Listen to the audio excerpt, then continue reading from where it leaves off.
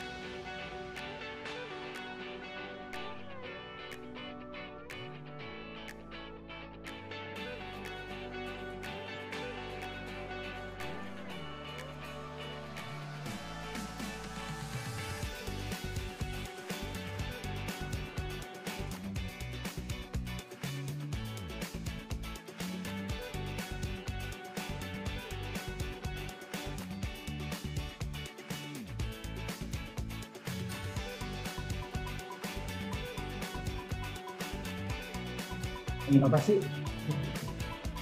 Coba coba tapi nggak tahu juga apa pakai A seperti A kayak A lah pokoknya. Kayak gini kayak gini kan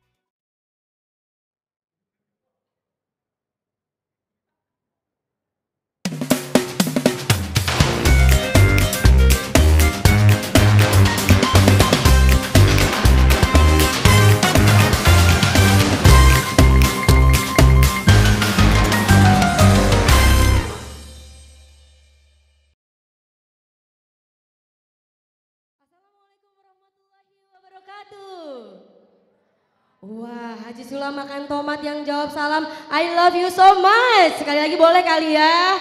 Selamat siang dan salam sejahtera untuk kita semua, Bapak Ibu dan Sobat Pustaka yang sudah hadir di lobi Gedung Juanda 2 Kementerian Keuangan maupun yang tergabung melalui Zoom meeting dan juga channel YouTube Perpustakaan Kementerian Keuangan.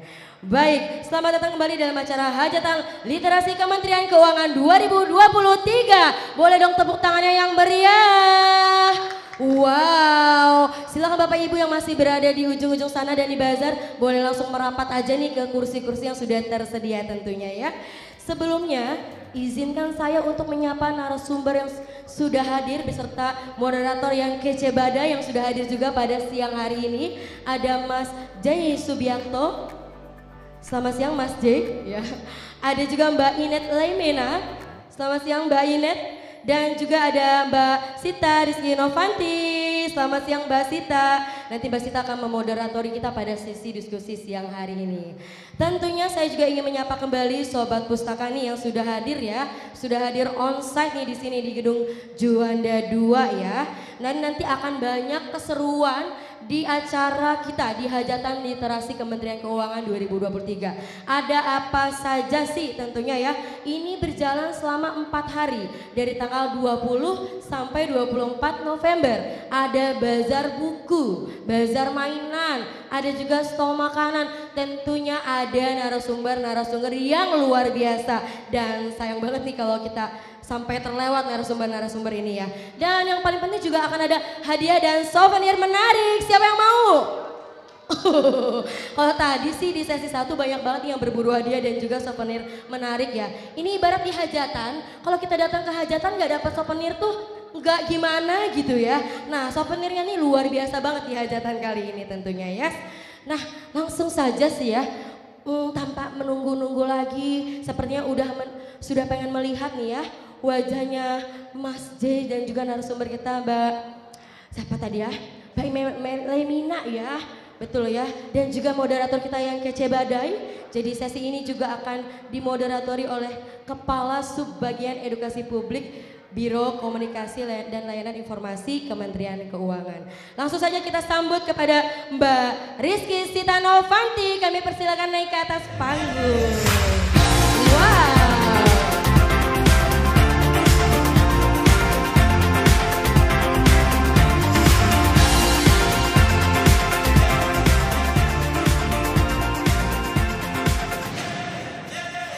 Baik, selamat siang Mbak Sita. Siang Amel, apa kabar? Aduh, sehat dong Mbak Sita, gimana kabarnya? Kita kompak loh hari kompak ini. banget Mbak Sita, kita ini pakai kebaya. Udah siap datang ke kondangan. Betul, ini temanya kita cewek booming banget. Iya. Udah cakep. Langsung saja deh Mbak Sita, langsung bisa memulai diskusi yang kedua hari ini. Oke. Silakan Mbak Sita. Thank you Amel. Apa kabar Bapak Ibu semua? Baik kan? Oke, Assalamualaikum warahmatullahi wabarakatuh. Senang sekali saya Sita berkesempatan untuk bisa memandu jalannya diskusi kita di Hajatan Literasi 2023 di sesi yang kedua ini. Nah, nantinya di sini kita akan belajar bagaimana sih literasi itu bisa mempengaruhi, menginfluence dan juga lebih um, memberikan arti yang positif ya dan juga memberikan referensi untuk uh, bagaimana kita menyelenggarakan event-event yang kreatif. Nah, di tema kita kali ini Hajatan Literasi 2023 yang mengangkat tema etika digital kreasi bermanfaat untuk literasi sehat ini, kita akan banyak belajar bagaimana sih uh, kita menavigasi masalah literasi ini di era digital yang sekarang ini. Mungkin teman-teman juga paham ya kalau di era yang digital ini kita mudah sekali mendapatkan informasi. Nah, apakah kemudahan ini juga memberikan dampak yang positif gitu ya dalam hal kita mencari referensi untuk penyelenggaraan pertunjukan dan apakah justru malah memberikan uh, efek yang negatif terkait hal tersebut.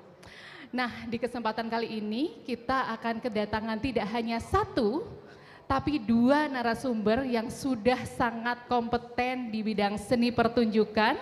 Nah mungkin semuanya udah tahu ya tadi udah di spill sama Mbak Amel siapa narasumbernya. Tapi sebelum itu kita sebelum kita panggilkan ke atas panggung dan berbincang-bincang dengan kita semua, kita akan lihat profil dari masing-masing narasumber berikut ini. Agara Wijaya Subiakto, seorang sutradara ternama kelahiran Ankara, Turki pada Oktober 1960 menempuh pendidikan sarjana arsitektur di Universitas Indonesia, ia justru memilih beralih ke jalur seni dengan berkecimpung sebagai artistic director. Bagi seorang Jai Subiakto, kreativitas tertinggi adalah ketika kita membuat sesuatu yang tidak pernah dipikirkan orang lain. Prinsip ini membuatnya diakui di kancah nasional maupun internasional karena karya-karya besarnya yang orisinal dan penuh terobosan. Pada tahun 1994, Jai meraih kesuksesan dengan menggelar konser Krisye yang bertajuk Sendiri sebagai konser tunggal penyanyi tanah air pertama yang digelar di Jakarta. Kemudian, pada 2008, Jai menyutradarai video musik Anggun yang berjudul Berganti Hati sebagai video pertama di Indonesia yang menggunakan kamera DSLR. Tak heran, pada 2012 Jai Subiakto dianugerahi sebagai tokoh seni 2011 pilihan majalah Tempo. Apakah Sobat Pustaka siap menggali dan mewujudkan ide besar bersama narasumber kita, Jai Subiakto? Triana Wiarsi Leimena atau yang lebih dikenal sebagai Inet Leimena adalah seorang wanita yang berprofesi sebagai show director. Sudah belasan bahkan puluhan tahun Inet berkecimpung di dunia belakang panggung pertunjukan pernah bergabung di GSP Production asuhan Guru Soekarno Putra. Baginya, menyatukan ratusan kepala menjadi satu adalah sebuah tantangan demi suksesnya sebuah pertunjukan. Peran orang-orang di stage management itu sangat penting karena jantung acara ada di mereka, kata Inem. Perempuan kelahiran 29 Maret 1968 ini memutuskan bekerja di belakang panggung sejak muda. Inem telah banyak menangani berbagai konser maupun pertunjukan di Indonesia seperti Java Jazz, Kris Dayanti, Afgan, Bunga Citra Lestari, dan masih banyak lagi. Hingga saat ini, ia masih terus belajar dari berbagai pertunjukan yang ia jalankan. Sobat Pustaka, marilah kita sambut Inet Leimena. Hadir langsung saja kita sambut ke atas panggung Mas Jai Subiakto dan Mbak Inet Leimena. Halo, apa kabar Mbak Inet, Mas Jai? Silahkan. Boleh nih, Home Pimpa dulu, Home Pimpa. apa kabar? Duh, aduh, senang sekali saya ketemu Mbak Inet dan juga Mas Jai. Ini idola. Dulu nih saya uh, tahu namanya Mas Jai dan juga Mbak Inet tuh kalau nonton TV aja. Ya kan? Siapa yang suka nonton dulu uh, konser Krisye? konser Tiga Diva tapi di TV gitu ya. Kita nontonnya beberapa bulan setelah show-nya gitu ya. Namanya Mas Jai dan juga Mbak Inet selalu ada di hampir setiap show. Jadi suatu keber, keberuntungan buat kita untuk bisa menghadirkan Mas Jai dan juga Mbak Inet. Boleh tepuk tangan sekali lagi ya. nah boleh silakan ya, diambil mikrofonnya Mas Jai dan juga Mbak Inet. Apa kabar nih Mas Jai, Mbak Inet? Sehat. Sehat. Sehat. Nah, Terakhir nih bekerja berdua di Festival Film Indonesia betul nggak? Ya. Betul. Ya. Kalau sekarang nih aktivitasnya apa nih? Apa ada proyek baru yang lagi dipersiapkan? Mulai boleh di spill spill gitu? Kalau aku memang proyek terakhirnya sama Mas Jai kemarin FFI, terus uh, tahun ini mau bantuin Andi Rianto untuk konser The Sound of Color uh, tanggal 3 Desember. Tanggal 3 Desember, ya. oke boleh tepuk tangan. Kalau masnya gimana nih habis FFI, what's kalau, next? Iya kalau saya habis FFI nganggur saya. Mas ini belanja ide. Tapi sebelumnya uh, selamat siang kepada semua rekan-rekan yang hadir. Terima kasih kepada Kementerian Keuangan yang menghadirkan saya dan Inet pada sore ini. Uh, uh, Ibu Sri Mulyani adalah salah satu uh, menteri favorit saya, menteri teladan Oh, favorit kita semua nih, saya juga nih. Kebetulan dulu satu angkatan di UI, angkatan 81, tapi saya di arsitektur, Ibu Sri di uh, ekonomi, di waktu itu di Salemba. Uh, tapi waktu itu belum belum pernah berkenalan dengan beliau. Tapi terima kasih sekali menghadirkan kami pada hari ini. Sangat senang bisa datang akhirnya ke Kementerian Keuangan Republik Indonesia. Kita yang seneng banget dong ya. Tadi dibilangnya seangkatan sama Bu Sri Mulyani. Kelihatan gak sih kalau seangkatan? Kayaknya seangkatan sama kita ya Mas Jaya ya. Udah lansia saya. kita nggak usah ngomongin umur deh, kalau kita forever 21 ya sih di Insight ya. Nah Mas Jai sama eh, Mbak Inet nih kan selalu kerjanya tuh sering berdua ya. Kenapa sih selalu bekerja berdua, apa artinya Mbak Inet buat Mas Jai dan juga sebaliknya? Iya, jadi uh, saya punya ketergantungan itu sama Inet. Jadi nggak mungkin saya bikin satu acara tanpa Inet ya. Bahkan saya waktu bikin film aja saya ajak uh, Inet juga. Jadi memang uh, pekerjaan seni pertunjukan itu adalah uh, kerjasama, harus ada teamwork. Dan selalu kalau saya bekerja saya justru memilih orang-orang yang tahu kelemahan dan kekurangan saya. Hmm. karena nggak mungkin saya bisa uh, semuanya. Sehingga uh, Inet inilah yang dari dulu udah tahu kelemahan saya udah tahu kekurangan saya. Jadi bisa justru memberikan masukan-masukan demi uh, bisa terselenggara dengan baik. Luar biasa. Jadi udah berapa puluh tahun nih bersama kalau misalnya dihitung-hitung? Dari tahun 94 94, wow luar biasa, boleh tepuk tangan loh friendshipnya. Nah tadi juga diberikan informasi ternyata tidak hanya bekerja bersama, tapi juga berteman di luar panggung dan pertunjukan ya. Kalau Mbak Inat gimana sih susahnya bekerja dengan Mas Jai apa? Ya sebenarnya uh, bekerja sama Mas Jai memang banyak susahnya ya. Banyak Maksudnya, susahnya. Tapi di situlah saya banyak belajar gitu. Ya. Jadi sebenarnya hmm tahun 94 ketemu Mas Jai, begitu saya selesai dari Mas Guru, saya bilang saya mau freelance, langsung ketemunya Mas Jai sama Mas Erwin. Gitu. Jadi sebenarnya dari situlah kita uh, bekerja sama gitu ya. Kadang-kadang orang pikir kita KKN gitu, kayak Mas Jai nggak bisa kerja sama orang lain gitu loh. Tapi sebenarnya yang Mas Jai bilang benar bahwa kita semua di dunia entertainment tuh uh, nggak nggak sendirian, kita semuanya bersama-sama gitu. Jadi sampai saya pernah lima tahun yang lalu saya bilang mas jangan kasih yang susah-susah dong maksud saya susah terus gitu ya sampai idenya Mas Jai ini terlalu, mas Jai terlalu gitu ya. Kadang-kadang kita nggak kepikiran nanti mungkin nanti dilihat di slide ya. Kadang-kadang Mas Jai gambar gitu saya gini, ini apaan sih Mas Jai ini maksudnya gimana gini? Maksud saya begini-begini baru nanti secara saya sebagai stage management ya, stage management itu ada bisa jadi show director, bisa jadi stage manager. Nah itu yang sebenarnya membantu Mas Jai apa yang idenya Mas Jai itu bisa terlaksana sih itu sih Jadi kalau misalnya mungkin saya simpulkan Mas Jai itu lebih ke otak kanannya, yang kreatifnya.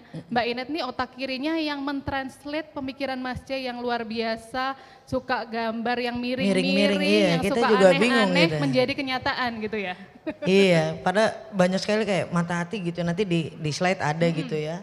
Penarinya udah latihan satu tahun baru Mas Jai kasih panggungnya semuanya yang, yang slide gitu terus semuanya pada nangis nangis beneran gitu nangis kita beneran. nariknya gimana gitu setelah saya kita coba ini akhirnya bisa juga sampai saat itu panggungnya belum nyampe Jakarta mereka harus latihan wah kita nggak bisa latihan nih dengan panggungnya, panggungnya. gitu jadi sebenarnya ya belum nyampe hmm. itu semua pada penasaran ya, apa sih yang diomongin mata hati, panggung miring-miring gitu.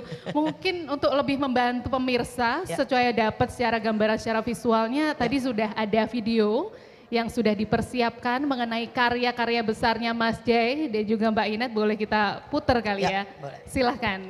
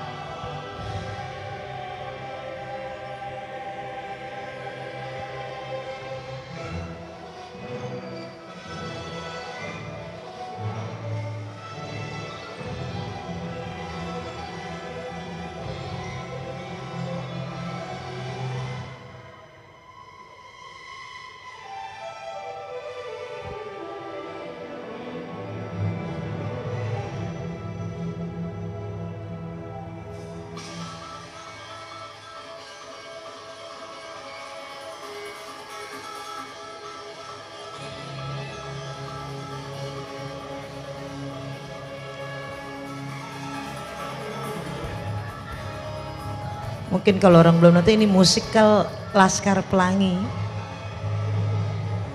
Musikal Laskar Pelangi.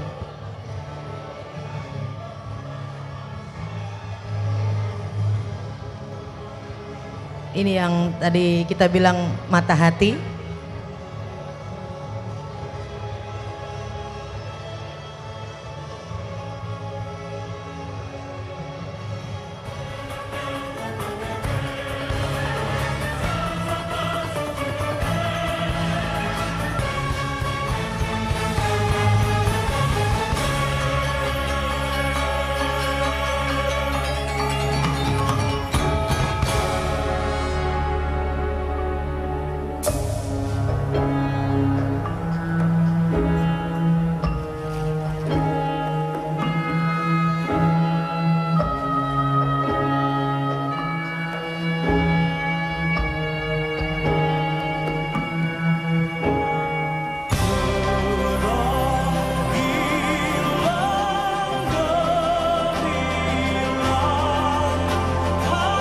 Ini Rosa, konsep Rosa.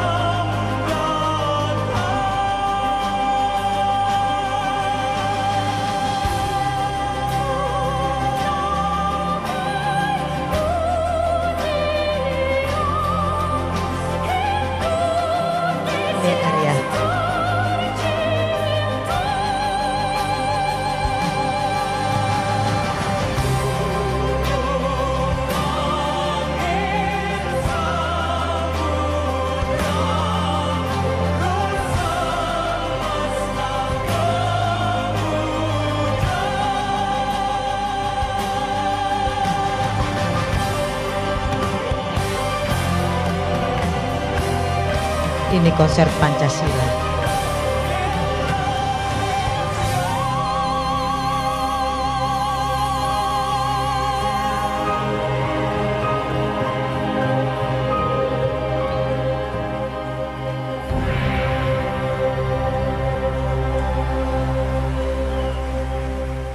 Aduh, saya terkesiap. Khusus ngedit.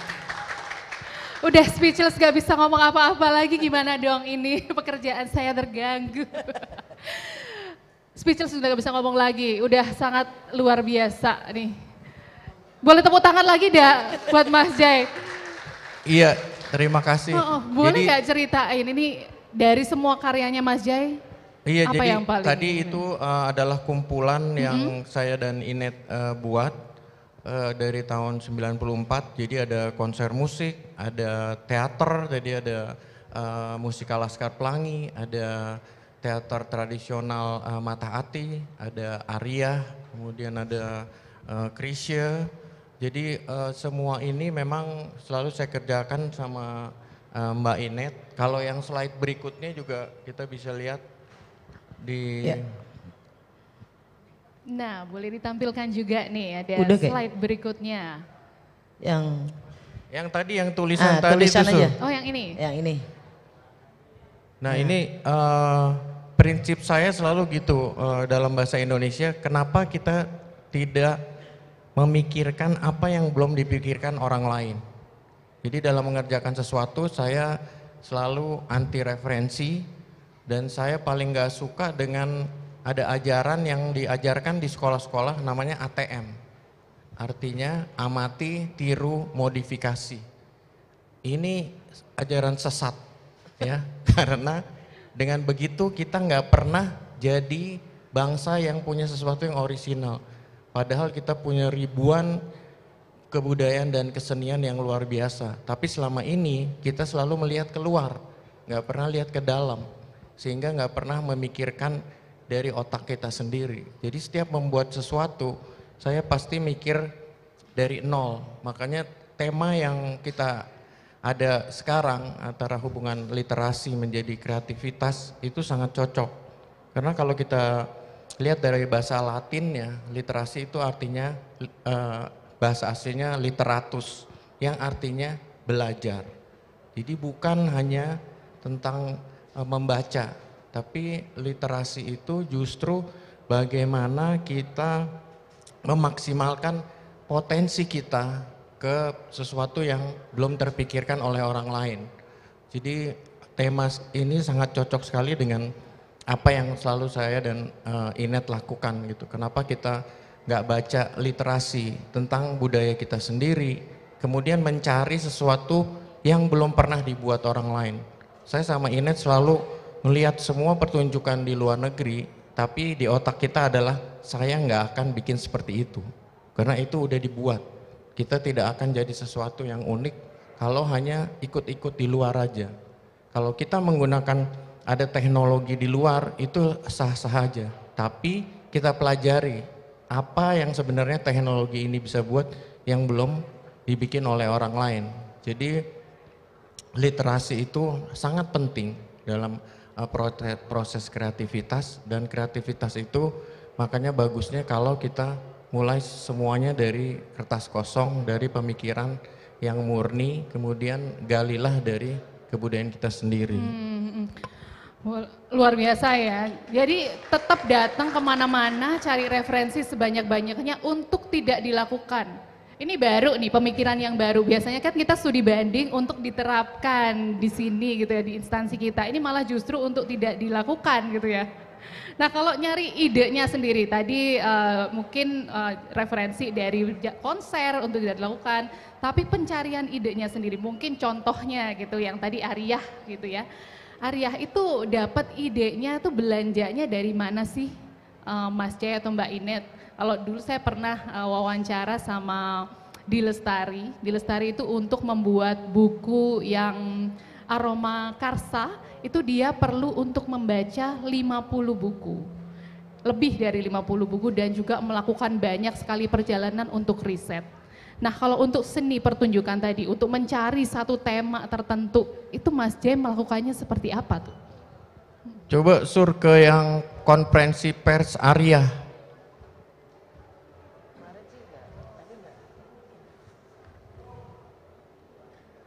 Arya, Arya itu tadi pertunjukan yang di Monas tadi loh teman-teman ya. Nah ini. Yang panggungnya miring-miring. Nah, iya.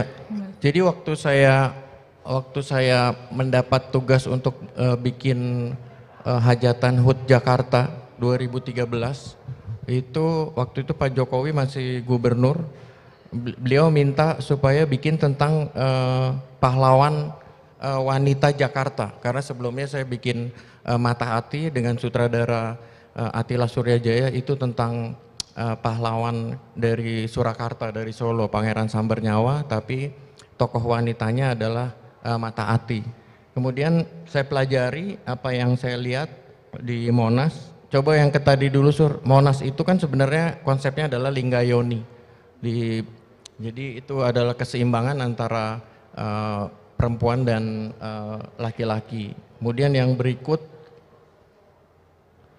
yang berikutnya ini panggungnya yang dari arah belakang. Jadi seperti uh, ini Inet bisa ceritain. Jadi uh, sebenarnya ini belakang panggung ya. Malah semegah ini. Malah semegah ini, iya karena waktu Mas Jai cerita soal Linggayuni ini, Mas Jai mendesainnya, mungkin Mas Jai cerita dulu, mendesainnya titik Iya, coba yang berikut Sur. Nextnya Sur. Next lagi, next lagi. lagi. Ya, ya ini. Uh, jadi uh, titik nol kota Jakarta dulu itu di Pelabuhan Sunda Kelapa ketika Belanda masih menjajah kita. Kemudian begitu kita merdeka, Presiden Soekarno merubah titik nol Jakarta ke uh, Monas. Nah dari Monas ini akhirnya saya tarik garis-garis ke berikutnya.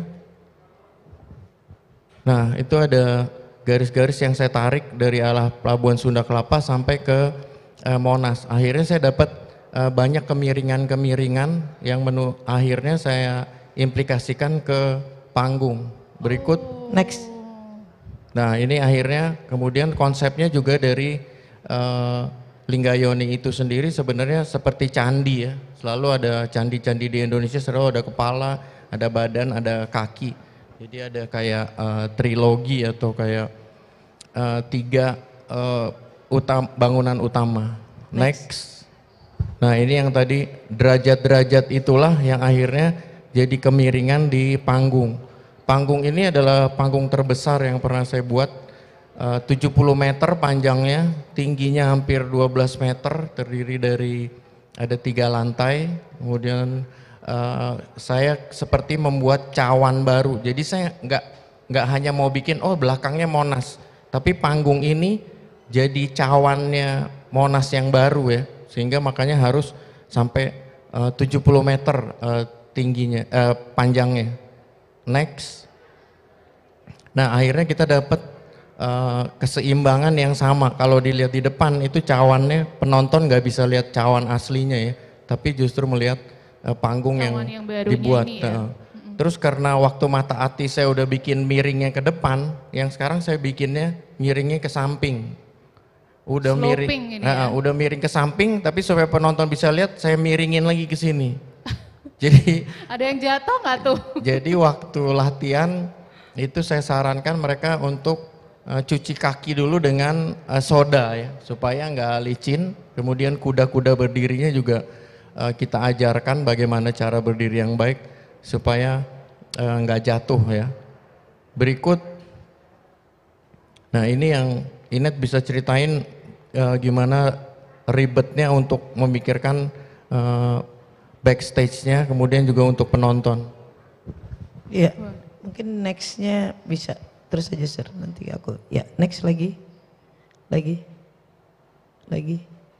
Ya, ini hasil gambar Mas Jai yang begitu kita refer ke teman-teman produksi kita semua mau semaput ya. Semuanya nangis ya. Semuanya nangis karena Mas Jai ngambil itu yang tadi literasi itu ya. Maksudnya Mas Jai bukan hanya segambar main gambar aja tapi semuanya ada Filosofinya. filosofinya kenapa gitu.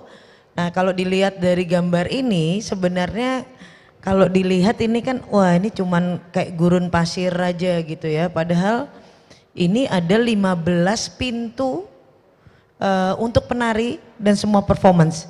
Ini kalau dilihat kita ada tiga lantai ya, ya ada tiga lantai. Jadi ada lantai satu, dua dan tiga dan masing-masing semuanya itu 15. Jadi untuk latihan tahu backstage itu seminggu.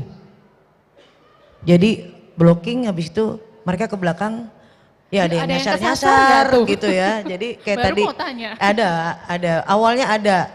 Lah kok keluarnya di sini gitu. Jadi makanya kayak tadi gambar yang tadi segitu besarnya gambar backstage kita seperti kayak panggung ada panggung lain padahal itu kita bikin setelah Mas Jai bikin ini baru saya s- eh, Mas Toto dan tim dan kita semua bikin backstage-nya. Jadi itulah jadi kayak ada panggung lanjutan gitu ya. Eh, jadi kita semua ya saya ini adalah orang yang sama tim yang membantu Mas Jai maunya kayak gini gimana caranya sutradaranya maunya kayak gini ya kita coba bantu. Kita coba bantu untuk semuanya dapat berjalan dengan lancar. Jadi ini ada 15 eh, pintu dengan 150, 150 penari. penari. Betul. Kalau menurut Mbak Enet ini idenya Mas Jai yang paling gila nggak? Atau masih ada yang lebih gila lagi? Kalau ini terbesar. Terbesar. Terbesar dan tersulit sebenarnya ya panggung ini karena kita bikin panggungnya aja izin waktu itu Pak Jokowi masih gubernur sebulan kita buat panggung terus tiga minggu kita latihan di sana. sana. Betul. Jadi ini yang terbesar yang menurut saya dan yang tersulit sebenarnya karena eh, banyak hal ini secara live ya, okas, or- orkestranya live, semua Penyanyinya juga penyanyinya semua live. live. Jadi kita nggak pernah Maja selalu mengajarkan jangan playback, jangan minus one. Jadi semuanya harus live. Karena menurut saya eh, kita tuh kalau live rasanya berbeda ya. Puas gak sih kalau Eh, kalau yang nonton sini secara live sama di Zoom kayaknya juga pasti berbeda. Jadi eh, mungkin habis ini kita bisa kasih lihat opening Boleh, aja ya boleh. Mas ya. Kita kasih lihat opening bagaimana eh, ribuan orang nonton di Monas dan itu pertama kali karena Pak Jokowi waktu itu maunya yang diduduk di festival itu adalah gratis, yang bayar di belakang di tribun itu yang bayar. Tapi Pak Jokowi maunya semuanya gratis dan eh, itu sangat beda. Mungkin kita lihat videonya openingnya sabar. aja, karena itu pertama kali Teasernya juga nih. untuk Monas eh, Iya segitu besar. belum pernah ya. sebesar ini. Langsung videonya aja sur yang openingnya. Ini kita kayak studi kasus langsung ya. Iya kan emang enak kan dibahas studi kasus. Dan ditampilkan dibahas oleh dosennya di sini. ya openingnya Arya. Ya. Jadi ini orkesnya berjumlah pasang aja langsung uh, ada 100 pemain orkestra. Kemudian, penarinya 150 tadi. Uh, uh, pena, ya ini lebih penarinya kayaknya lebih ini nanti ya. Terus kemudian kita nggak pernah nggak pernah main swan, nggak pernah playback dan nggak pernah bawain lagu Cikini Gondang Dia. Tepuk tangan dulu dong, nggak pernah playback, luar biasa. Saya nggak kebayang sulitnya, teknisnya itu seperti apa tuh. Iya pasang sur.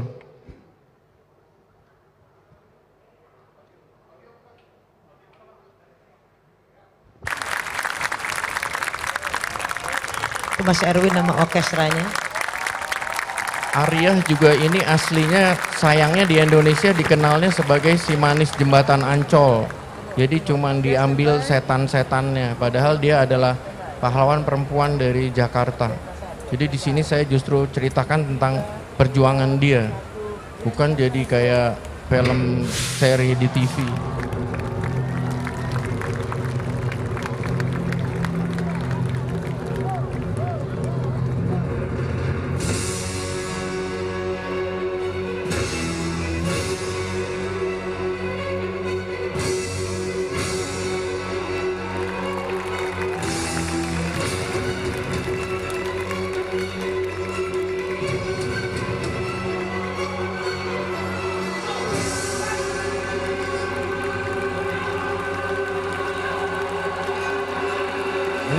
Video mappingnya dari depan, kemudian di kiri semua lighting dari kiri kanan dan di belakang.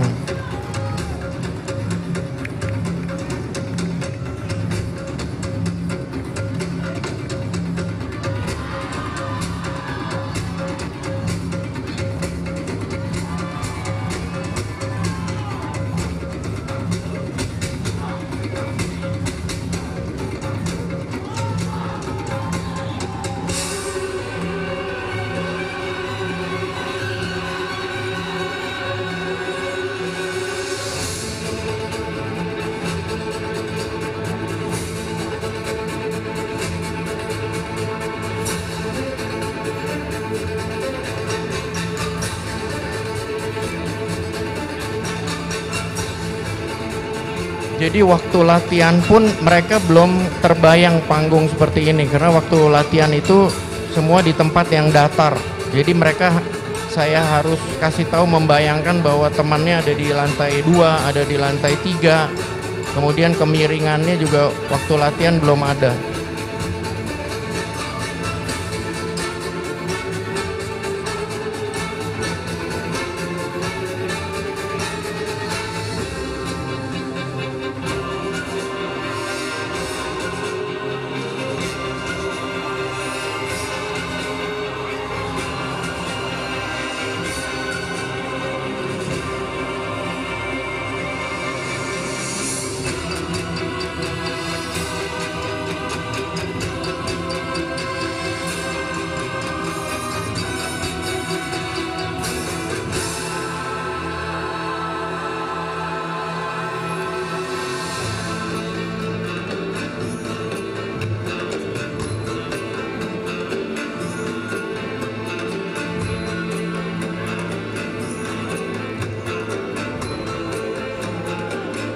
Iya cukup sur ke slide yang berikutnya aja.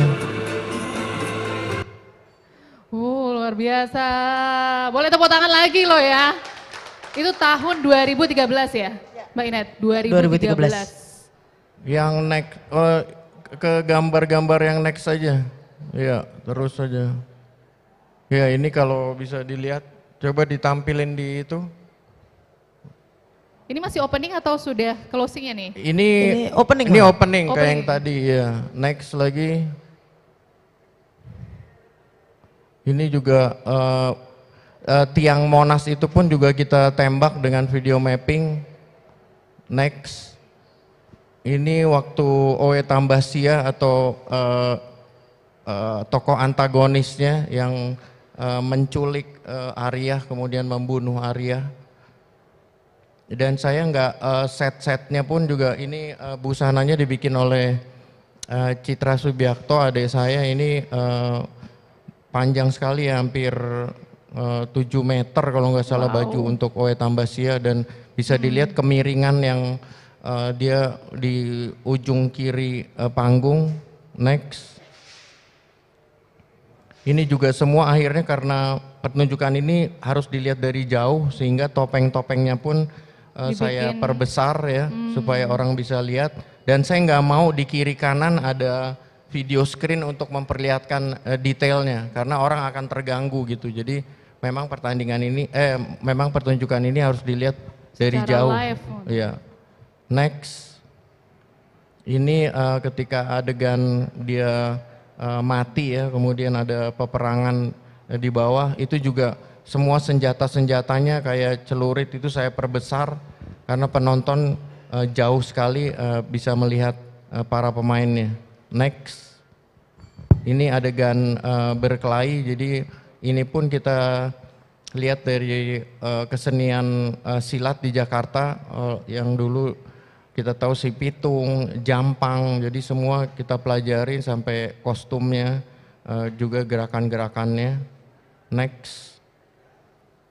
Ini juga waktu itu kita pakai eh, bom-bom api ya di belakangnya untuk eh, lebih orang lebih bisa lihat eh, adegan semuanya.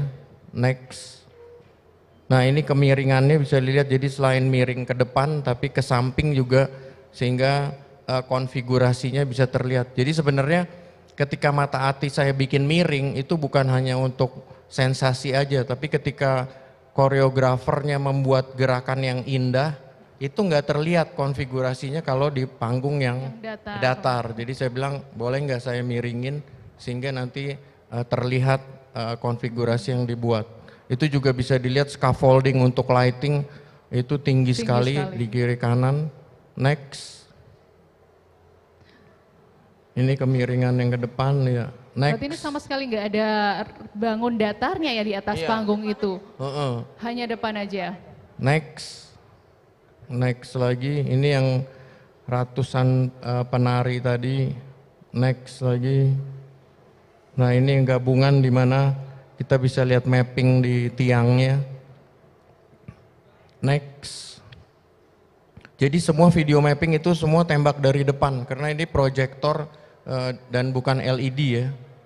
Kemudian next lagi. Next lagi. Nah ini untuk terakhirnya. Next lagi. Next lagi. Terus terus ya. Jadi begitu panggung sebesar ini kita justru dalam menyutradarainya kita harus mengarahkan penonton harus lihat ke mana. Jadi tadi ada yang semuanya nyala, ada yang sebagian eh, gelap. Ini menarik nih yang lighting yang Mas Jo buat itu kalau yang segitiga itu itu seolah-olah rumahnya si salah satu eh, apa namanya Adegannya ini adegannya ini menggambarkan menggambarkan dia keluar dari rumah. rumah. Gimana caranya Mas Jai mendesain lighting ini menjadi atap rumah. Jadi seolah-olah orang lihat itu keluar dari rumahnya. Iya. Dekorasinya sangat nggak Dekora- literal ya. Iya. gitu. Jadi langit pun akhirnya bisa jadi kanvas untuk eh, eh, lighting ya, untuk bikin suatu konfigurasi yang mungkin kalau di ruangan tertutup kita nggak bisa dapat efek seperti ini. Next, next lagi, Wow. next lagi. Nah ini jadi kita bisa lihat ternyata lampu itu bisa bikin banyak sekali bentuk-bentuk yang menunjang cerita. Next, next lagi. Ke yang berikutnya deh yang setelah Arya tuh sur.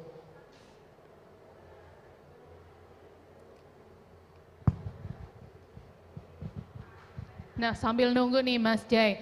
Ini untuk menciptakan ide Arya tadi itu proses risetnya berapa lama tuh Mas Jai?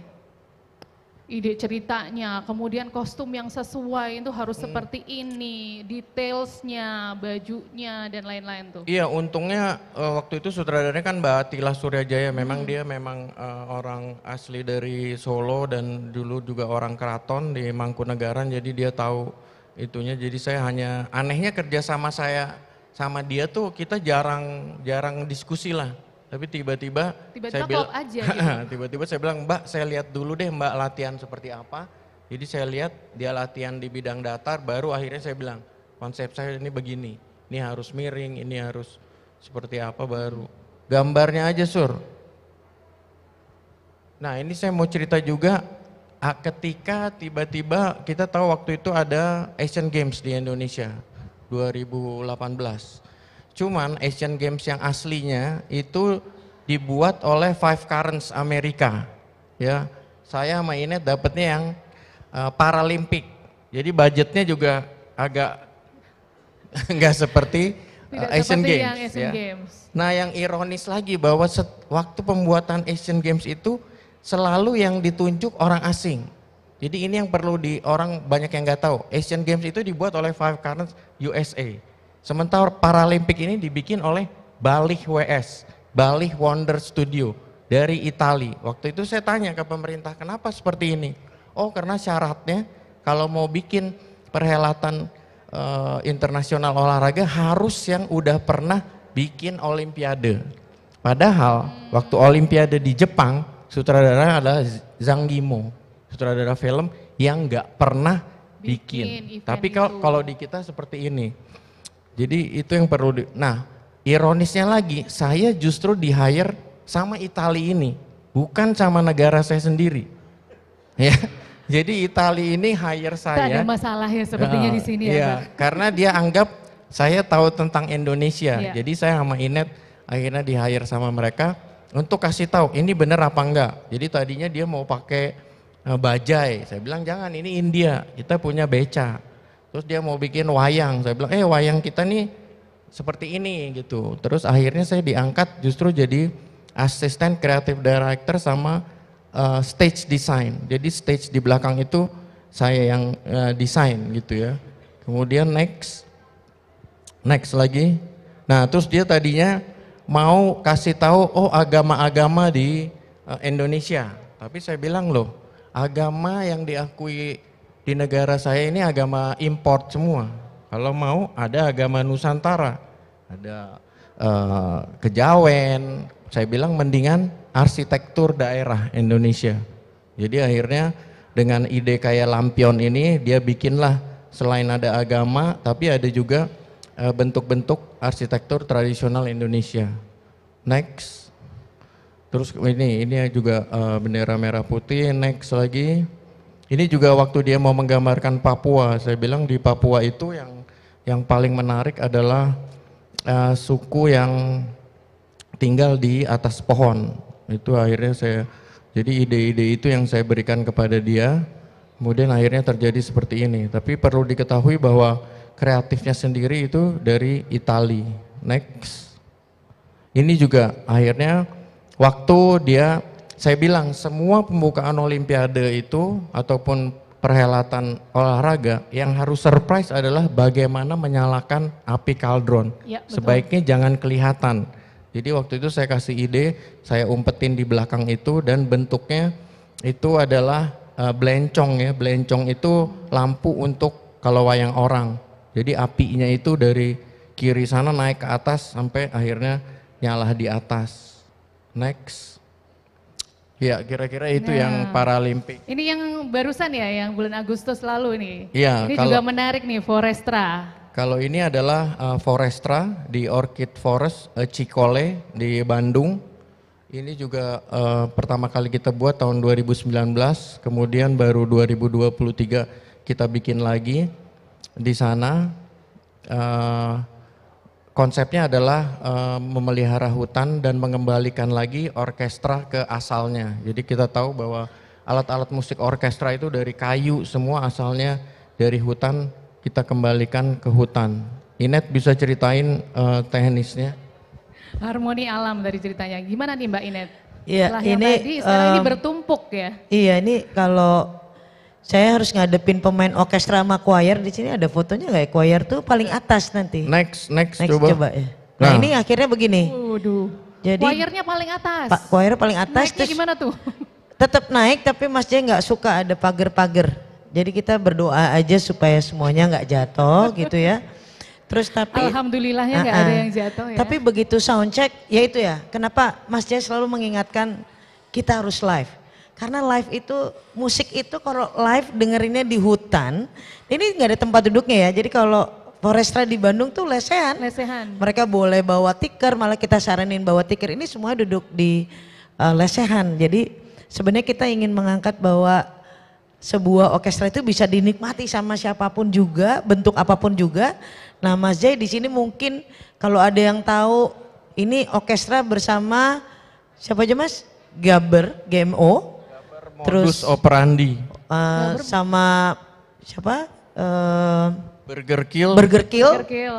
main sama orkestra gitu ya orang Burger Kill gitu Burger terus sama bara suara iya jadi sebenarnya eh, ya inilah kadang-kadang saya nggak ngerti otaknya Mas Jaya tuh kok lagi desain ngelihat apa saya juga nggak ngerti gitu tapi selalu eh, Tapi masih bisa bertahan hampir 30 tahun ya. ya itulah. Mungkin kesalahan saya apa gimana. Tapi ternyata selama 30 tahun itu di Mas Jai itulah proses pembelajaran saya sendiri. Sa- saya banyak banget belajar juga dari Mas Jai dari desain ini menjadi ini. Itu sebenarnya nggak hanya mengimplementasikan eh, Mas Jai tapi Mas Jai orangnya terbuka gitu. Maksudnya Iya. saya bilang Mas kayak yang lima Mas boleh nggak yang ini kita pindahin sedikit itu masih masih boleh lah. Jai bukan orang yang gini harus seperti Strict gini gitu gitu. ya. tapi ya kekeh juga pasti ya lah ya. Namanya juga orang sudah udah seorang Mas Jai gitu ya. Jadi agak kekehnya dikit. Tapi maksudnya eh, ya itu yang Mas Jai terapin gimana caranya. Karena kesuksesan sebuah acara itu kadang-kadang yang dilihat bukan siapa yang ngerjain siapa yang bikin tapi kalau show-nya hancur, show-nya jelek, siapa sih yang ngerjain? Oh, siapa sih? siapa sih? SM-nya Gitu ya. gitu. Jadi sebenarnya itu yang mempertahankan hidup saya sampai sekarang masih eh, dipakai adalah Iya. biarpun jelek tapi yang penting Mas Jaya happy, Mas Erwin happy, yang yang punya event happy gitu ya. Kadang kita nggak bisa pleasant orang dari sekian banyak orang yang nonton mungkin nggak suka dengan presentasi kita berdua. Tapi mungkin ada yang menjadi oh gitu toh gitu ya. Tapi mungkin menurut kita sih nggak apa-apa karena semua orang jualan sate ada yang sate yang enak, ada yang nggak enak. Iya, Itu it's about flavor gitu ya. Ah, ah, kayak- Nilainya dari persepsi soalnya ya kan Iya. Kak. Next coba Sur. Ya, Nah, nah, ini yang Ini tadi. gimana caranya? Ini berarti ditembak ya? Iya, Pakai jadi nggak pakai layar ya? Oh Nggak jadi pakai layar, ah, ini nggak pakai layar. Saya juga tadinya nggak tahu, makanya saya saya yakin aja. Saya bilang bisa kok ditembak. Wah orang Dengan tadinya keyakinan. eh, orang bilang nggak mungkin, mana bisa nembak ke itu. Tapi se- sebulan sebelumnya saya paksa bawa eh, proyektor dan saya deg-degan ini kalau batal saya dimarahin pasti kan udah repotin orang. Tapi Repotin ternyata orang bisa. Nah itu yang saya bilang bahwa jangan pernah kita nyontek apa yang orang pernah bikin. Kenapa nggak mikir sendiri dan coba sendiri gitu. Ternyata bisa gitu ditembak eh, ke pohon. Kemudian ini waktu itu lagu dari lagu Jamrut ya. Eh, akhirnya semua kayak karaoke pada nyanyi karena liriknya saya taruh di situ dan kita bisa lihat Oh itu the whole show liriknya di lirik. pohon. Oh, Karena nggak ada lagu ini aja.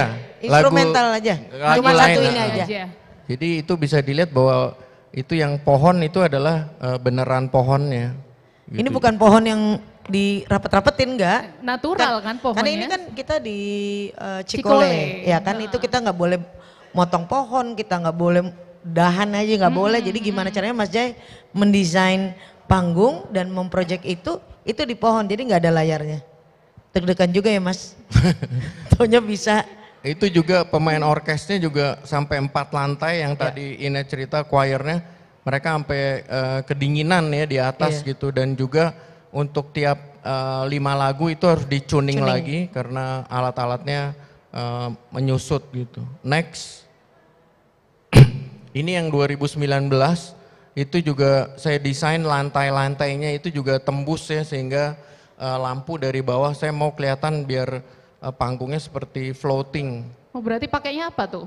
Kayak semacam akrilik Eh, yang eh, tebal atau pakai kaca? grill gitu, grill besi. Oh, yang drill. Jadi bolong. penyanyinya nggak Iya, boleh pakai hak. Jadi semuanya Masuk Next. soalnya. masuk bentar. Next sur. Ya itu efeknya bisa seperti ini.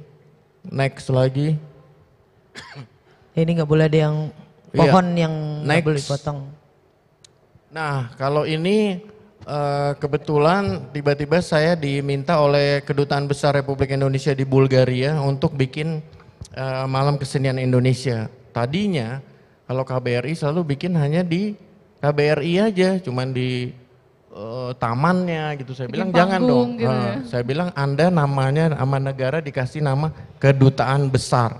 Kalau bikin apa-apa yang besar dong. Kalau enggak namanya kedutaan kecil kan.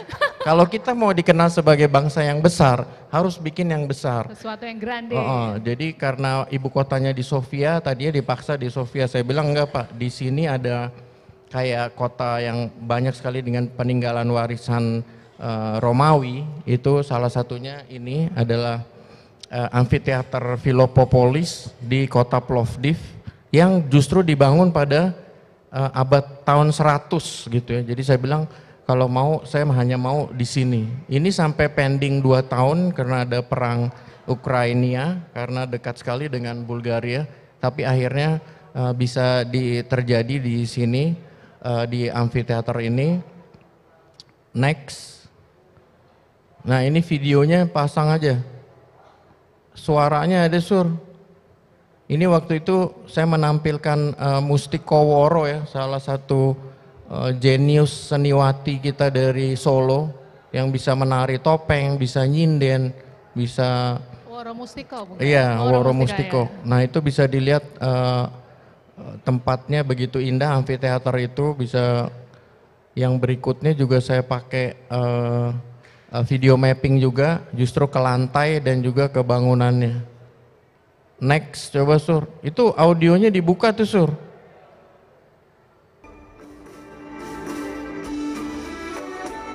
Ini diiringi oleh etnokestra Erwin dengan 12 pemain musik.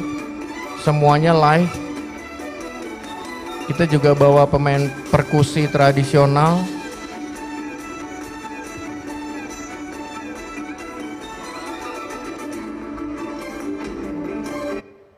Next, yang next juga video. Nah itu mappingnya. Saya ke bawah. Ini Woro eh, kolaborasi dengan penyanyi lokal. Ya. Dan penyanyi lokalnya mau belajar bahasa Jawa. Saya lihat ini dia pas di konser Erwin Gutawa kemarin di Agustus. Keren banget.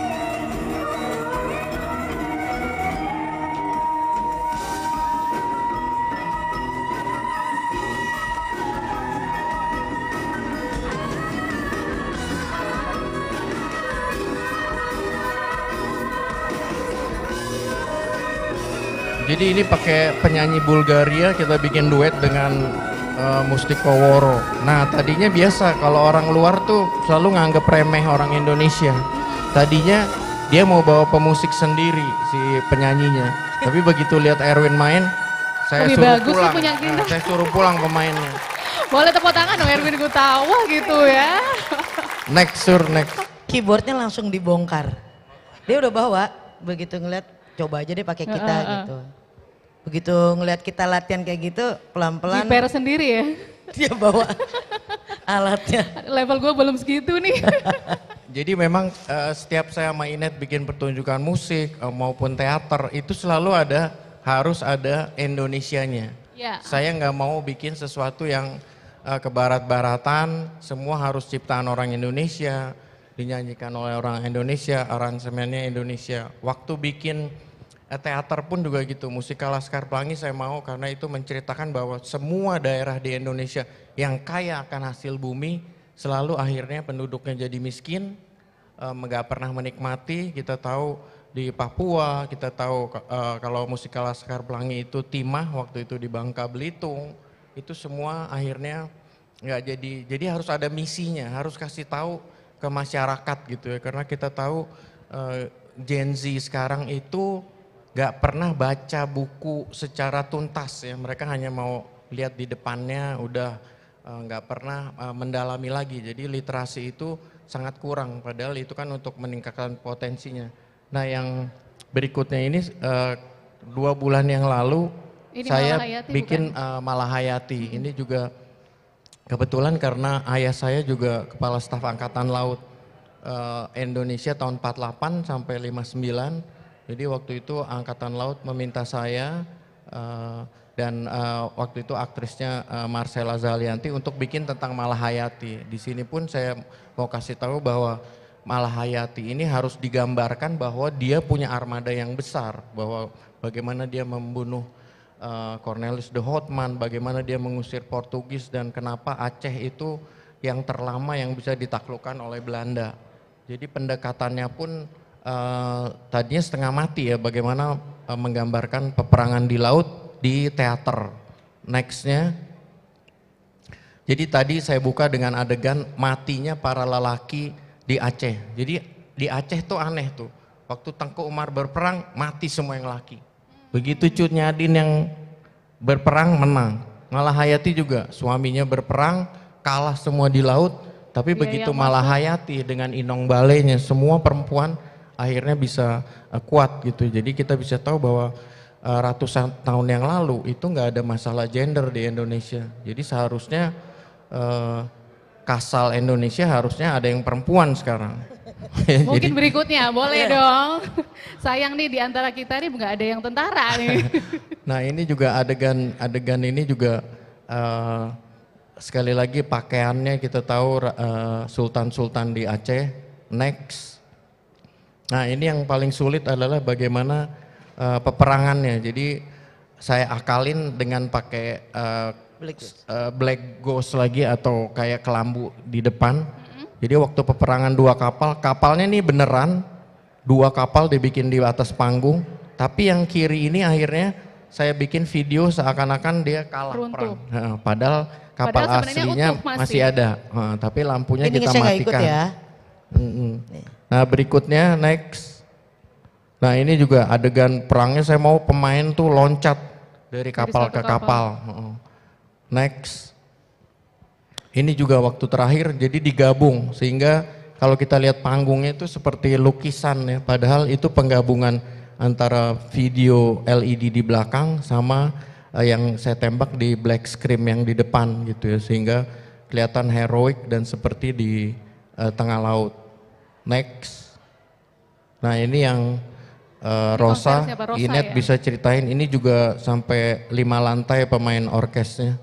Ini kenapa Mbak Inet? Apakah karena lokasinya terbatas atau emang Mas J aja yang lagi rada gimana gitu idenya? Iya, ini juga aw- awalnya sebelum Rosa kita KD di tempat yang sama ya. Kita kan JCC. JCC kita emang secara ini kurang tempat show gitu. Jadi cuman JCC sebenarnya JCC itu adalah conference. Iya, tidak tempat didesain conference, bukan untuk didesain untuk konser. eh, konser. Jadi memang eh, agak susah gimana ini Mas Jaya gimana ya supaya beda gitu. Akhirnya Mas Jaya kok gini gimana? Maksudnya gimana ya Mas? Ya ini ditaruh aja eh, musisinya di kayak di losmen gitu ya, di atas gitu ya. Dan ini sebenarnya awalnya nggak kelihatan sama penonton. Ini Awalnya ditutup kelihatan. sama Mas Jai sebenarnya. Jadi yang terlihat cuma anak ritme sama Rosa aja. Jadi begitu part openingnya masih ritme, begitu udah pakai orkestra, baru orang Baru dibuka, ditampilkan. baru orang tahu bahwa Iya coba nextnya sur kelihatan waktu ketutup ya. Next Nah, lagi. ini next. Nah, ini waktu tutup Oh, Ini ditutupnya pakai layar ya? agak pakai Bukan. diakalin nih. Pakai backdrop ini gimana caranya diakalin. Jadi waktu opening orang oh Rosa cuman kelihatan. ritme aja gitu, nggak pakai orkestra gitu. Emang kita sengaja bikin Mas Jai gimana caranya ada sesuatu Elemen lagi surprise-nya eh, surprisingnya. ada gitu ya. Begitu segmen 3 kalau nggak salah baru dibuka oh ternyata ada orkestranya gitu, baru pakai orkestranya. Iya jadi satu lagi bahwa ini yang perlu dicatat juga sama teman-teman agar tahu bahwa tidak ada satupun gedung pertunjukan di Indonesia yang benar. Ya, ini kita main di convention center. Berarti akustiknya nggak maksimal, Iya. panggungnya juga nggak. Teater-teater yang di Indonesia juga tidak maksimal. Saya bikin di eh, Taman Ismail Marzuki itu nggak ada di belakang, di kiri kanan, nggak ada tempat nyimpen setnya. Jadi saya nggak tahu nih arsiteknya waktu bikin kok nggak pernah nanya ke usernya atau lihatlah eh, konser gedung-gedung konser yang lain. Jadi kan yang banyak bilang, wah kenapa nggak bisa bikin kayak di luar loh? Infrastrukturnya nggak menunjang. Kemudian yang namanya flybar yang bisa set dari atas yang kayak tadi musikal Laskar Pelangi. Di sini itu speednya nggak bisa dimainin. Kemudian bebannya nggak bisa 500 kilo. Kemudian ada yang selalu uh, salah gitu ya. Jadi, Jadi secara infrastrukturnya masih banyak Iya, constraint ya. infrastrukturnya tuh sangat menyedihkan, nggak pernah ada yang memperhatikan, nggak pernah arsiteknya itu nanya dulu ke usernya atau melihat syarat-syarat sebuah uh, gedung pertunjukan. Juga kalau milih konsultan, katanya yang di tim udah dari Australia, tapi konsultannya kali biasa bikin pensi di sana ya, jadi Bukan event lagi. yang seperti ini, yang tiba-tiba ada rumah diturunkan dari atas gitu ya. Idenya belum ada yang seliar Mas Jai berarti. Nah Mas Jai saya jadi pengen tahu, oh, mungkin minum dulu boleh minum dulu. Saya pengen tahu nih Mas Jai kan selalu mengadvokasi gitu ya dalam setiap pertunjukan yang dibuat itu cerita tentang keindonesiaan gitu. Nah di tengah gemburan era digital yang di mana kita banyak sekali informasi mengenai apa yang terjadi di luar dan Mas Jai masih setia untuk membawa cerita-cerita keindonesiaan itu misi pribadinya apa sih sebenarnya? Apakah untuk mengadvokat bahwa generasi muda ini tadi supaya nggak lupa tentang keindonesiaannya atau seperti apa tuh? Iya, jadi kalau saya lihat bangsa kita ini bangsa yang gampang sekali dipengaruhi oleh eh, kebudayaan asing. Kalau zaman dulu, zaman eh, Candi Borobudur, Candi Prambanan, kita itu sangat India. Ya, semua eh, tapi hebatnya kita punya versi sendiri. Candi Borobudur itu nggak sama sekali nggak mirip eh, seperti candi-candi di India. Kemudian sekarang kita sangat dipengaruhi oleh eh, kebudayaan Arab. Kemudian kalau generasi yang lebih kecil lagi, dulu kalau ayah saya masih berbahasa Belanda, sekarang orang berbahasa Inggris. Ya, jadi Sekarang mungkin bahasa Korea juga ya. jadi itu yang yang paling mengkhawatirkan buat saya itu bahwa eh, literasi yang unsurnya adalah bahasa, kita mulai meninggalkan bahasa kita sendiri. Apalagi jadi buat saya justru untuk saya eh, keuntungan besar. Kalau saya ketemu klien, kemudian konsep saya itu kebudayaan Indonesia, mereka terima aja karena mereka nggak ngerti. Tapi kalau saya bilang, oh saya bikin referensinya pertunjukan Disney, mereka akan lebih ngerti. Jadi kalau buat saya yang paling ngeselin di dunia itu klien. Karena tuh? karena mereka pikir mereka yang paling bisa. Kita hanya dianggap tukang, dianggap kita nggak punya pemikiran. Tapi kalau konsepnya saya Indonesia, mereka langsung diem karena mereka nggak ngerti kebudayaan kita dia sendiri. Nah ini yang yang paling menyedihkan buat saya itu sehingga buat saya yang paling dekat dengan saya adalah Indonesia. Kenapa nggak saya gali dari Indonesia dengan menggunakan teknologi zaman sekarang dan dengan tidak melihat apa yang pernah dibuat orang asing. Luar biasa, boleh tepuk tangan dong. Kita boleh contoh nasionalisme Bang Jai. Nah Bang Jai sekarang kan juga banyak pertunjukan yang ada di Indonesia. Kita juga sekarang dengan mudah untuk datang ke luar negeri gitu ya melihat pertunjukan-pertunjukan tersebut. Nah kalau menurut Bang Jai nih, itu kira pertunjukan yang ada di Indonesia mungkin yang sekarang baru-baru saja terjadi di tanggal 15 kemarin itu sebenarnya menurut Bang Jai positif nggak sih untuk Indonesia? Kira-kira sisi positifnya apa dan negatifnya apa kira-kira? Iya, yang pertama adalah sebenarnya bagus kita bisa uh, mengukur kemampuan kita sebagai bangsa dan negara. Bahwa negara lain udah bisa seperti itu karena apa? Karena di negara sendirinya diprioritaskan kesenian.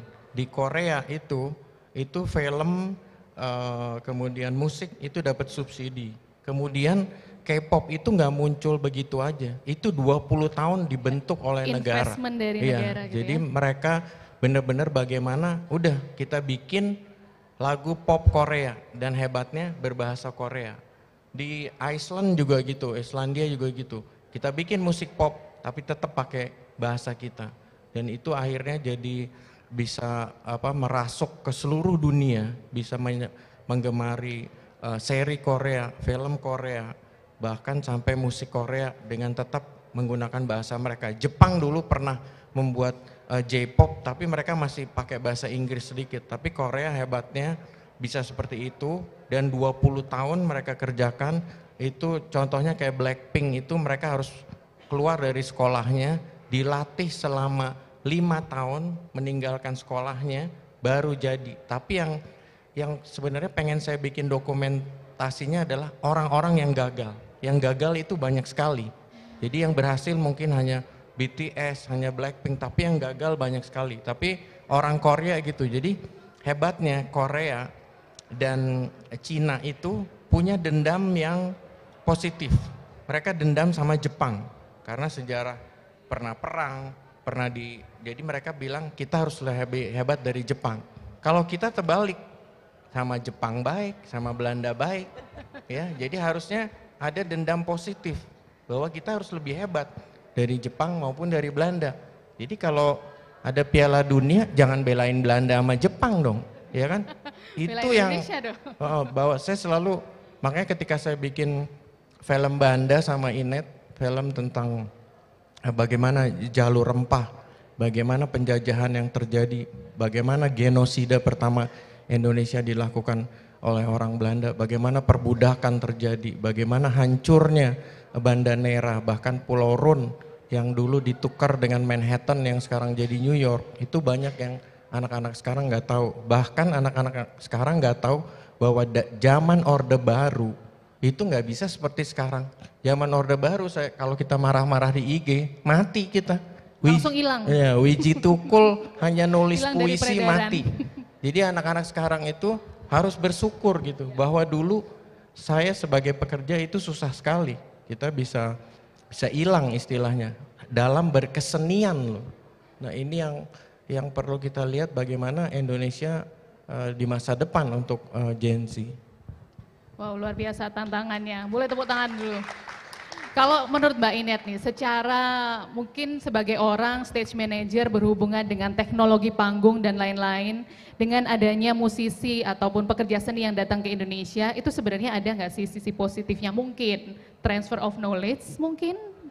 Seperti apa? Iya, eh, sebenarnya di tahun 2005 sampai sekarang saya itu eh, menjadi eh, koordinator stage management untuk Java Jazz Festival.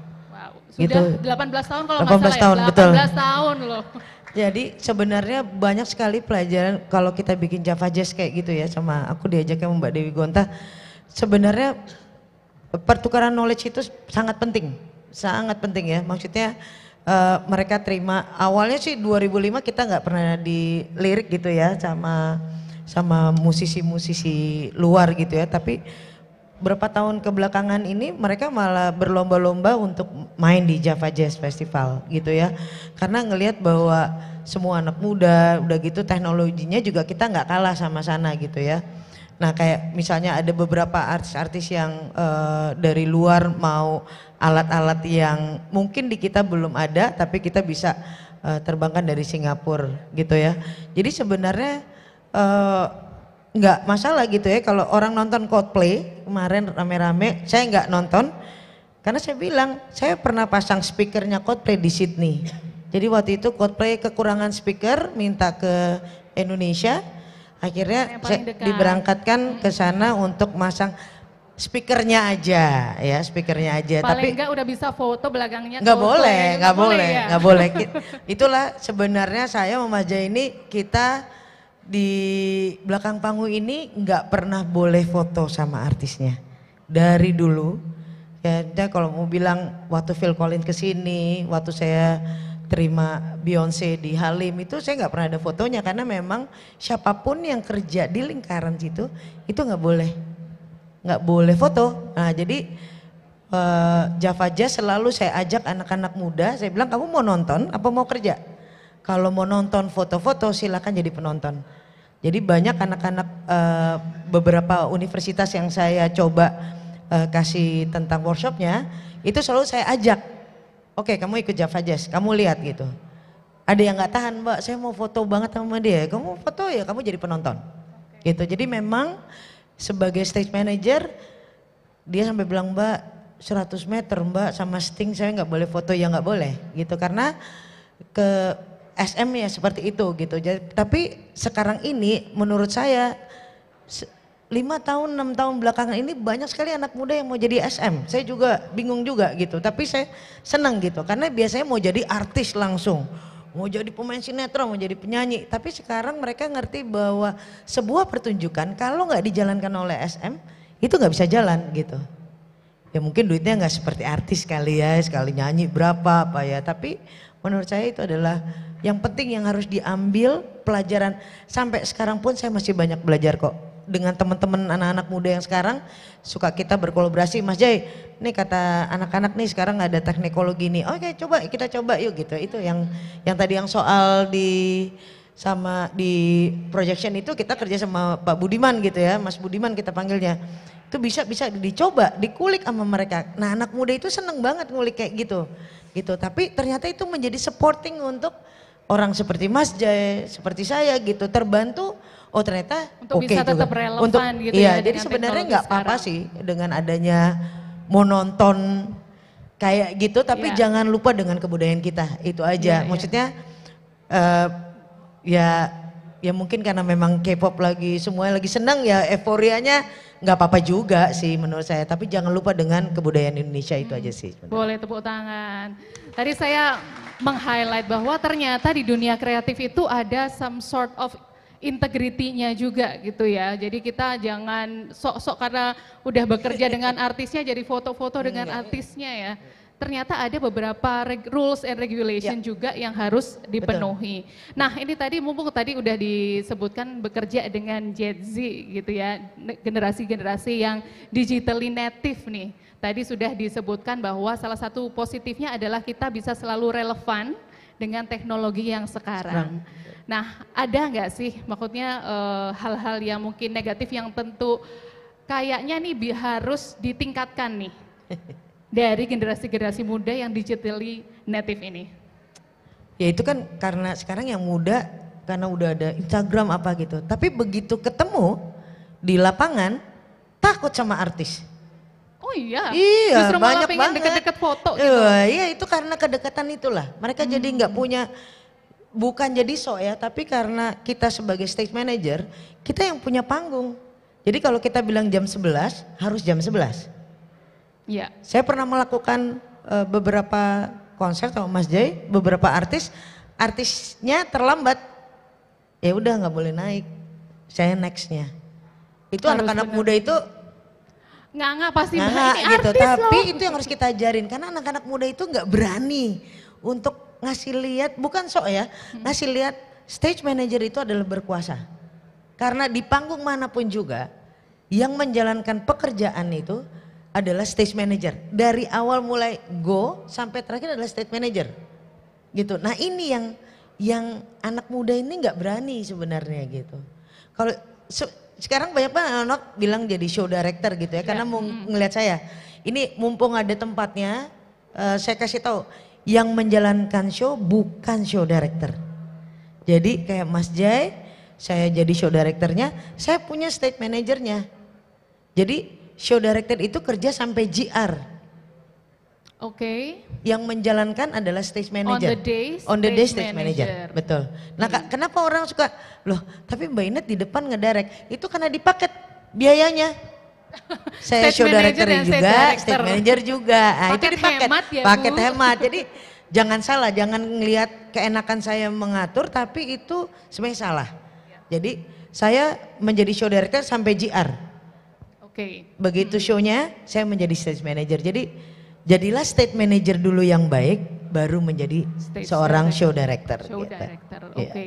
Jadi sebenarnya kalau di dalam show itu ada keorganisasian apa aja sih? Ada producer, creative Director, director, betul. show director, Nah, ada beberapa show yang nggak perlu show director, Hmm. gitu. Jadi kayak kayak misalnya Java Jazz Festival, semua artis eh, luarnya datang nggak nanya siapa show directornya, siapa stage manajernya. Karena Hmm. yang dibawa adalah stage manager, mereka nggak perlu show director. Kalau lagi konser, karena konsernya berjalan dengan udah seperti apa yang mereka latih di luar, gitu ya Iya. gitu. Butuhnya show director itu kan karena kalau kayak Beyonce kayak konser-konser besar mereka bikin, tapi begitu tur yang turun stage manajernya. Jadi yang berkuasa penuh adalah stage Iya, manajernya. iya, iya, iya. Makanya saya lebih senang dibilang seorang stage manager yang baik dibandingin show director. Karena kalau kita mau ke luar negeri kayak kemarin ke ke Bulgaria, yang ditanya siapa stage manajernya ya saya gitu. Gitu. Itu Karena sih dia yang berkuasa penuh dan menentukan jalannya Betul. mulus atau enggaknya suatu Betul. pertunjukan itu Betul, ya. betul. Mungkin kalau misalnya dalam program uh, project management ini uh, project manager, kalau show director tuh program manager seperti Iya. ya Pak ya kalau Iya, kita betul, lihat betul, ya. betul, betul. Iya, saya ini penasaran ya, kalau untuk orang-orang yang bekerja di dunia kreatif, yang bisa berpikir segila Mas Jai tadi bikin panggung yang miring-miring, bikin kapal gede di atas panggung gitu. Mas Jai dulu Pak, kecilnya makannya apa sih? apa makannya mungkin eh, buku gitu ya, supaya bisa selalu kreatif? Iya, jadi eh, saya bersyukur punya orang tua yang dari dulu eh, itu nggak apa nggak nggak kasih saya barang ya. Zaman dulu saya tuh eh, istilahnya digaji. Jadi kalau mau apa-apa harus nabung, harus eh, Have to earn it. Iya, gitu ya. a- kalau mau waktu kayak pernah mau beli sepeda, malah sama bapak saya dikasih ik- ikut sayembara lukis. Kalau kamu menang baru dapat itu. Jadi untungnya eh, saya waktu itu lahir di Turki ketika ayah saya jadi duta besar. Nah ayah saya takut bahwa saya nggak kenal eh, negara saya. Di situ justru saya tiap hari harus bisa berbahasa Indonesia, dikasih komik Mahabharata, Ramayana. Jadi eh, dia benar-benar takut bahwa saya ini nanti nggak ada keindonesiaannya dan dia ajarkan bahwa kalau di negara kamu di Indonesia kalau ada nikahan yang datang 2000 kalau di sini yang datang paling cuma 20, dia bilang kalau di Indonesia kamu mati satu menit kemudian semua udah bantu. Jadi ayah saya kasih tahu tentang gotong royong bahwa di eh, negara kamu itu nggak ada yang individual. Semua saling eh, tolong semua orang baik semua orang bisa bantu. Nah dari situ. Terus yang kedua ayah saya selalu bilang ada proses. Nggak ada hasil yang bagus kalau nggak susah. Pasti harus proses panjang.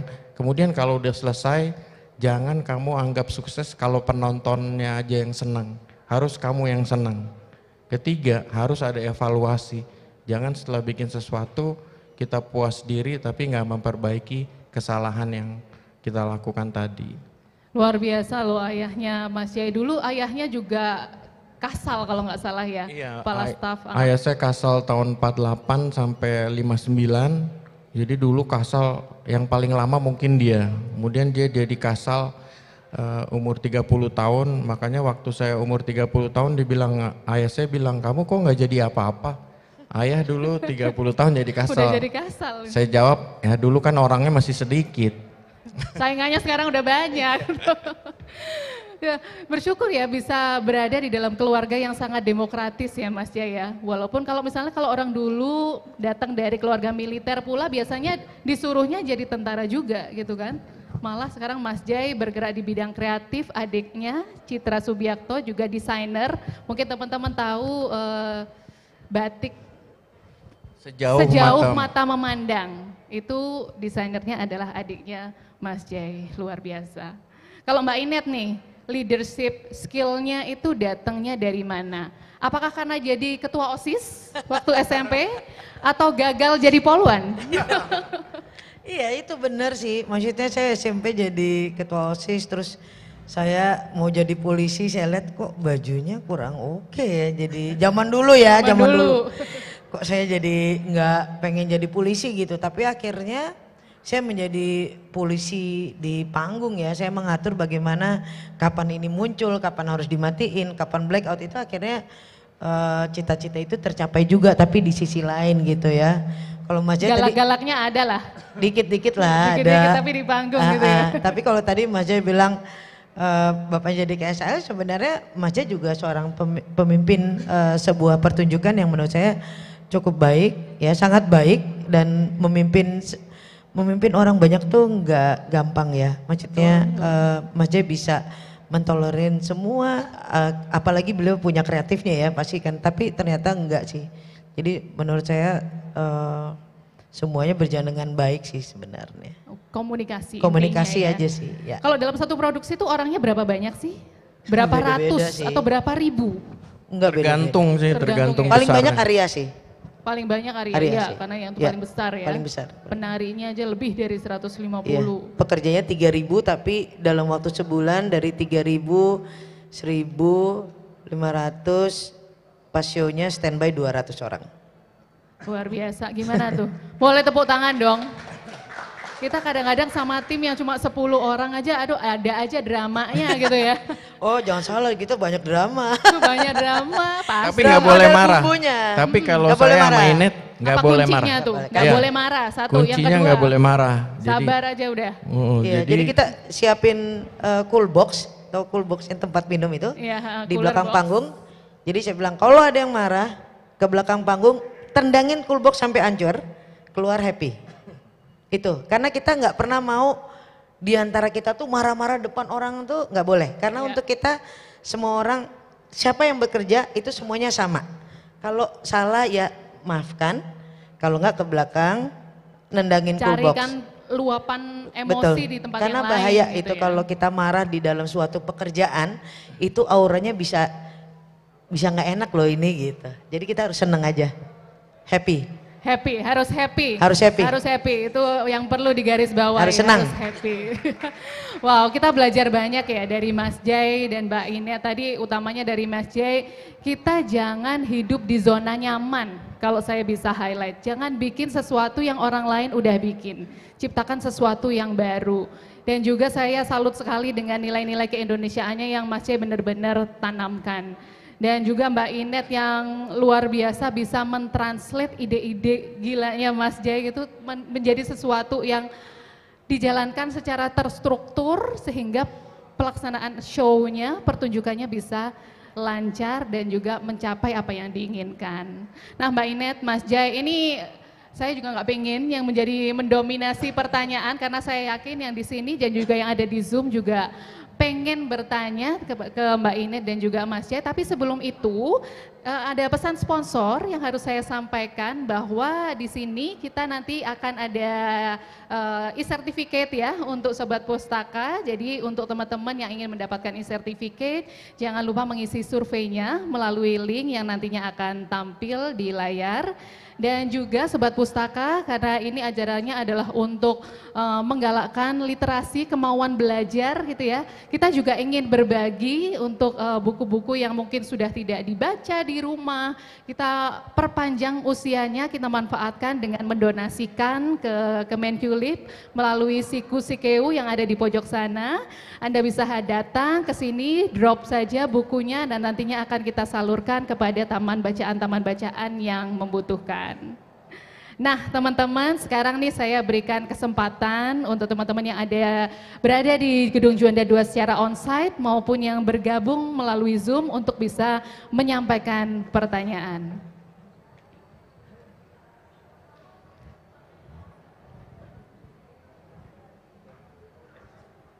Iya, sudah ada Pak Haryo, Ah, sudah ada dua, empat gitu ya. Mungkin coba kita coba dua dulu ya. Dari sini Mas Haryo dulu, kemudian eh, Cici. Cici Tias ya, silakan Pak Haryo. Ya, makasih Mas Jai, Mbak Inet. Perkenalkan saya Haryo Seno, eh, ASN Kementerian Keuangan. Eh, kami eh, selain bekerja sebagai ASN juga sudah berusaha menggelorakan kreativitas seni bagi pegawai Kementerian Keuangan. Salah satunya eh, kami dan teman-teman mendirikan komunitas teater, teater Arta Kemenkyu. Dan saya bisa mengklaim itu adalah satu-satunya teater yang ada di ASN Kementerian. Usianya baru dua tahun dan sampai saat ini eh, sudah delapan produksi yang kami tampilkan. Dalam hal ini mendukung kegiatan-kegiatan yang ada di Kementerian Keuangan. Uh, saya terima kasih sekali dengan tadi yang disampaikan Pak Inet, Mas C, uh, ilmu yang bisa kami terima, terutama terkait literasi. Literasi itu bisa men- mercikkan kreativitas. Benar sekali. Selain membaca, tadi saya baru baru ngeh bahwa ternyata bukan hanya membaca literasi itu, tapi kita menyaksikan, uh, me- melihat penampilan-penampilan karya orang lain itu juga suatu literasi. Nah, di tengah keterbatasan kami sebagai ASN dan di tengah menggeloranya seni kami, sehingga eh, sebenarnya ide-ide kreatif kami itu sangat banyak, sehingga salah satunya kami mendirikan komunitas. Namun dengan keterbatasan uh, kami sebagai ASN tadi, sehingga kreativitas-kreativitas tersebut seolah-olah ter uh, ya, terkungkung, terbatasi. terbatasi. Nah, kami hanya bisa menciptakan karya-karya yang ya istilahnya orderan, orderan dari unit-unit di internal Kementerian Keuangan. Sebenarnya kami ingin berkreasi lebih luas itu, seperti Mas Jai menampilkan karya-karya yang liar, itu kami punya ide-ide seperti itu, tapi untuk membuat dalam suatu karya yang di luar keterbatasan kami, itu yang yang belum bisa kami laksanakan. Nah, eh, kami minta saran Mas J, Mbak Inet, apa yang harus kami lakukan di tengah keterbatasan itu, sehingga eh, ASN kami itu bukan sekedar aparatur sipil negara, kami bisa berharap ASN kami itu menjadi aparatur seni negara. Demikian, kami mohon saran Mas Mas Jai, Mbak Ina. Makasih. Mungkin kita tunggu adanya saya berhenti dulu ya, Mas Jai.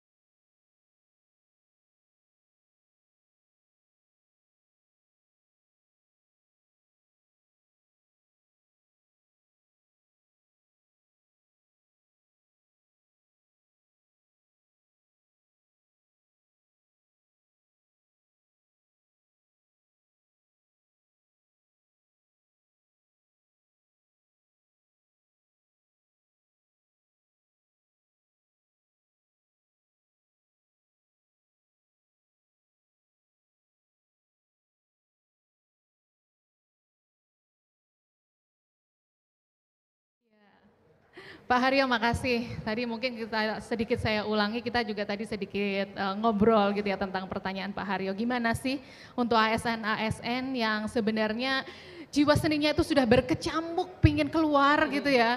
Tapi karena banyak limitasi, karena pekerjaan, waktu dan lain-lain, gimana itu supaya tetap ada gitu ya Mas. Mungkin Mas Jai sama Mbak Inet bisa cerita banyak nih. Ya Pak, Tadi baru ngobrol, maksudnya sayang kalau nggak diteruskan.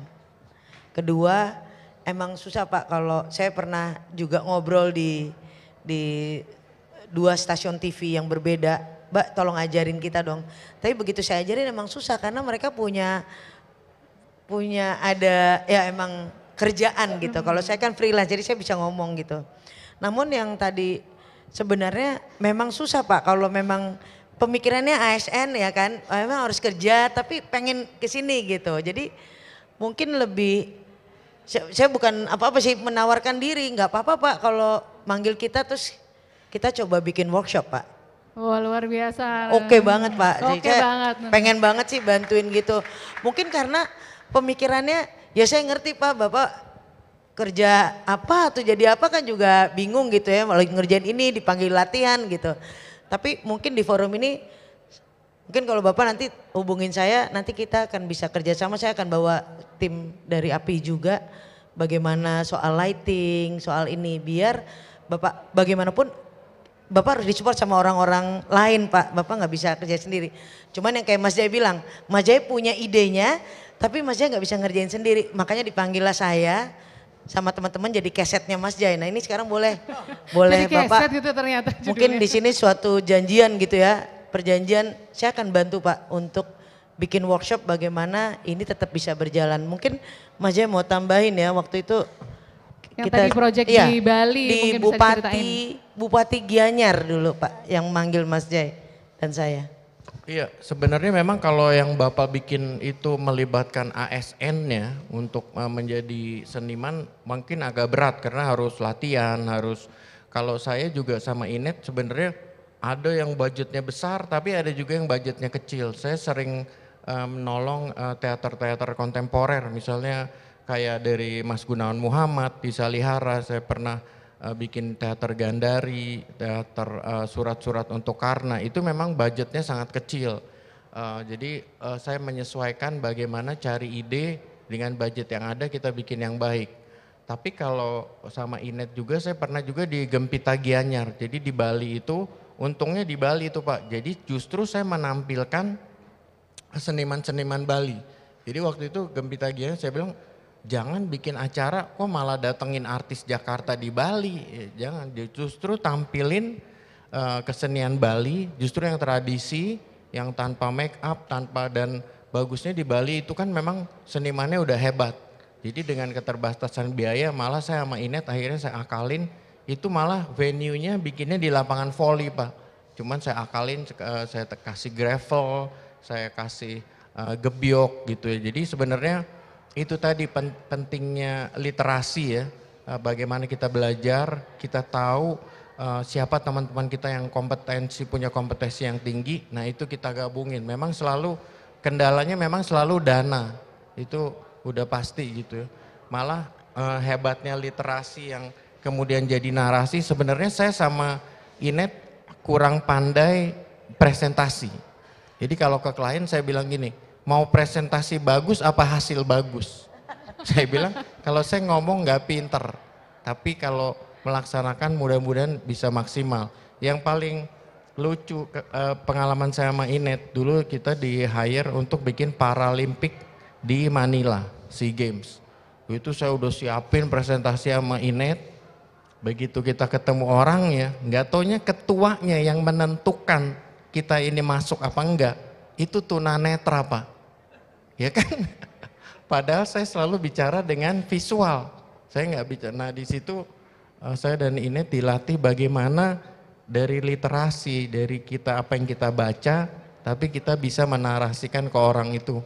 Itu absurd sekali buat saya bahwa seorang penilai bentuk suatu bentuk pertunjukan itu ternyata seorang tunanetra gitu. Jadi di situ yang yang buat saya mainnya jadi kendala yang terbesar. Tapi itu tadi bahwa eh, memang benar sekecil apa pun kesenian itu pasti indah pak. Jadi eh, harus diteruskan eh, dengan siapa pun karena setiap orang pasti punya eh, unsur seni. Semua profesi itu ada seninya.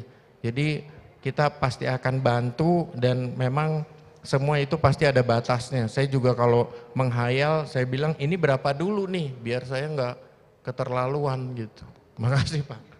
Luar biasa, boleh nanti untuk bisa dibikin project nih bersama-sama Mas J dan juga Mbak Inet. Oke, kita masih akan ada slot pertanyaan beberapa lagi, tapi sebelumnya ini uh, kita ice breaking dulu deh, karena kita udah ngobrolnya udah hampir dua jam ya, belum. Kita ice breaking dulu, akan ada beberapa hal yang akan dilakukan. Dan mungkin ada hadiahnya juga sepertinya. Dan untuk ice breaking ini kita kembalikan ke Mbak Amel. Terima kasih Mbak Sita, tepuk tangannya dong. Bapak Ibu Sobat Pustaka luar biasa sekali ini. Uh, Mbak Sita, Mas J dan Mbak Inet izin sebentar ya. Kita akan cek sound dulu sebentar bermain-main ya. Ini akan bermain uh, tebak lagu ya atau berpacu dalam melodi. Sebelumnya coba saya mau tes suara sebelah, sebelah sini. Na na na na. Gak ada suaranya. Sebelah sini. Na na na na. Oh, ini kayaknya udah lebih seru nih ya. Jadi kita akan tebak lagu ya, tebak lagu. Nanti Mas Acil akan mainkan sebuah lagu. Nanti Bapak Ibu yang tahu judul lagunya boleh angkat tangan. Setelah itu sebut judulnya apa, baru kita nyanyikan bersama-sama. Oke? Okay? Oke okay ya, ini hadiahnya apa sih? Hadiahnya tentunya luar biasa sekali ada souvenir dari hajatan yang sangat menarik. Yeay, tepuk tangan dong yang mau hadiah. Uh, kita mainkan satu lagi lagi ya. Ini kalau misalnya Mas J sama Mbak Inet mau nebak, boleh juga ya. Mungkin barangkali nanti uh, bisa jadi pemenangnya dan dapetin souvenir. Baik Mas Acil silakan mainkan. Ada yang tahu? Boleh, boleh. Tapi kita ke sebelah sini dulu. Ada yang sudah lebih dulu? Boleh. Mbak izin boleh nanti sebutkan namanya ya setelah itu judul lagu dan akan nyanyikan refnya aja. Oke? Bunda. Bunda betul Mas Ajil? Betul? Betul. Boleh nyanyikan Mbak? Sedikit saja. Yang tahu boleh nyanyi? Udah dan usai. Asik. Lagi Mbak Sita? Ku pandangi semua gambar diri. Asik. Kecil bersih belum ternoda. Udah cukup ya? Jawabnya cuma MC nggak nyanyi. Terima kasih selamat ya mbak. Boleh souvenirnya langsung diberikan? Wow luar biasa sekali Hadiahnya bernilai jutaan ya. Juta. Tapi SBM. SBM. Tetap ya. Baik, kita akan ke musik kedua. Musik kedua silakan.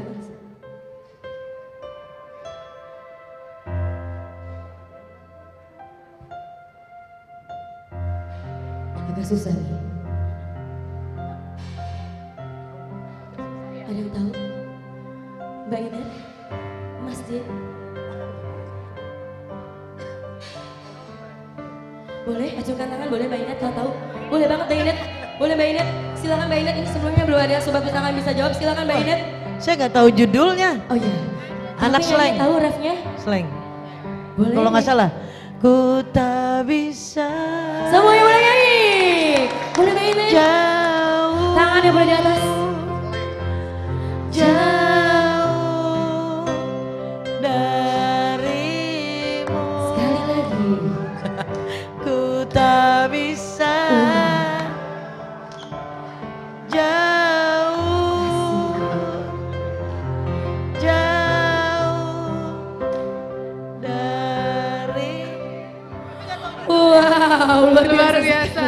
yang menang yang yang dapat hadiah yang tahu judulnya Iya. saya nggak tahu Oke, judulnya Mbak Inet berarti kita tunjuk ya yang tahu judulnya ya, boleh ya. Yang tahu judulnya sekarang kata Mbak Inet.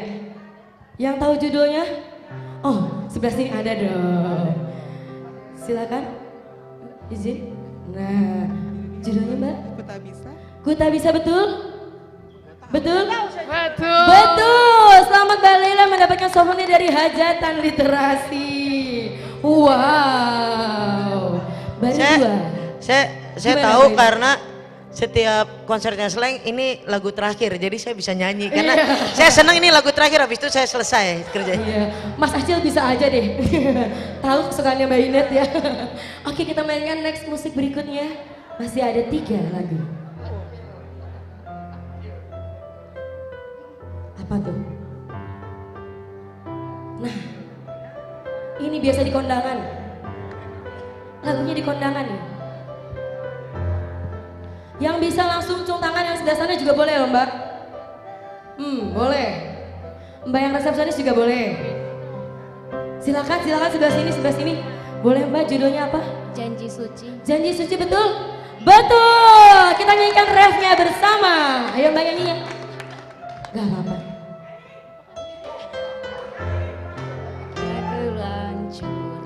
Ku takkan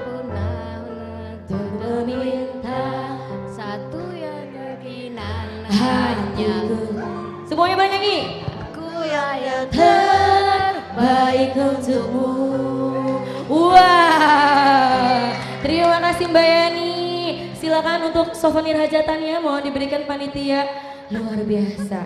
Masih ada berapa? Dua lagi ya. Silakan Mas Acil musik mainkan.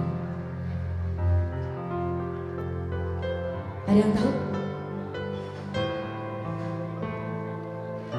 Boleh sebelah sini loh. Ada yang tahu?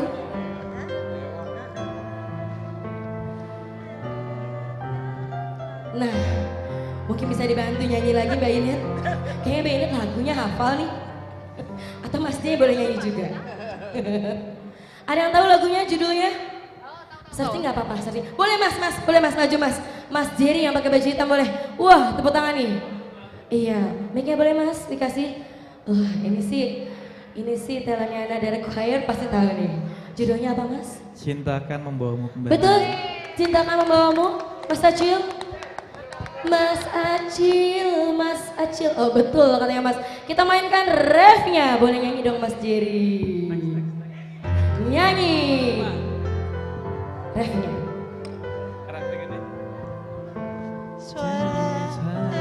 Semuanya boleh sama nyanyi. Meski perih mencoba Asik. Mendanana Gak apa Rasa yang ada Ada teknik apa? Oh cukup cukup cukup cukup. Terima kasih Mas Jerry selamat mendapatkan souvenir hajatan ya. Gak hafal sama kita juga gak hafal. Gak apa-apa Mas. Karena bukan penyanyi beneran saya ya. Terima kasih untuk Mas Jerry. Satu lagu terakhir. Izin ini satu lagu terakhir. Pamungkas.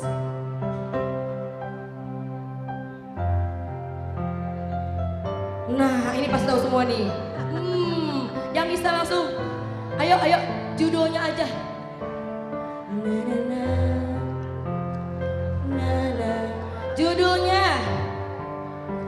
Judulnya doang. Iya betul. Ayo langsung, langsung, langsung, langsung. Langsung. Sebelah sana, sebelah sana. Iya mas, silakan mas judulnya mas. Harta yang paling berharga nggak diargunkan. Betul? Betul? Betul. Mainkan refnya dan nyanyikan bersama-sama. Paling berharga adalah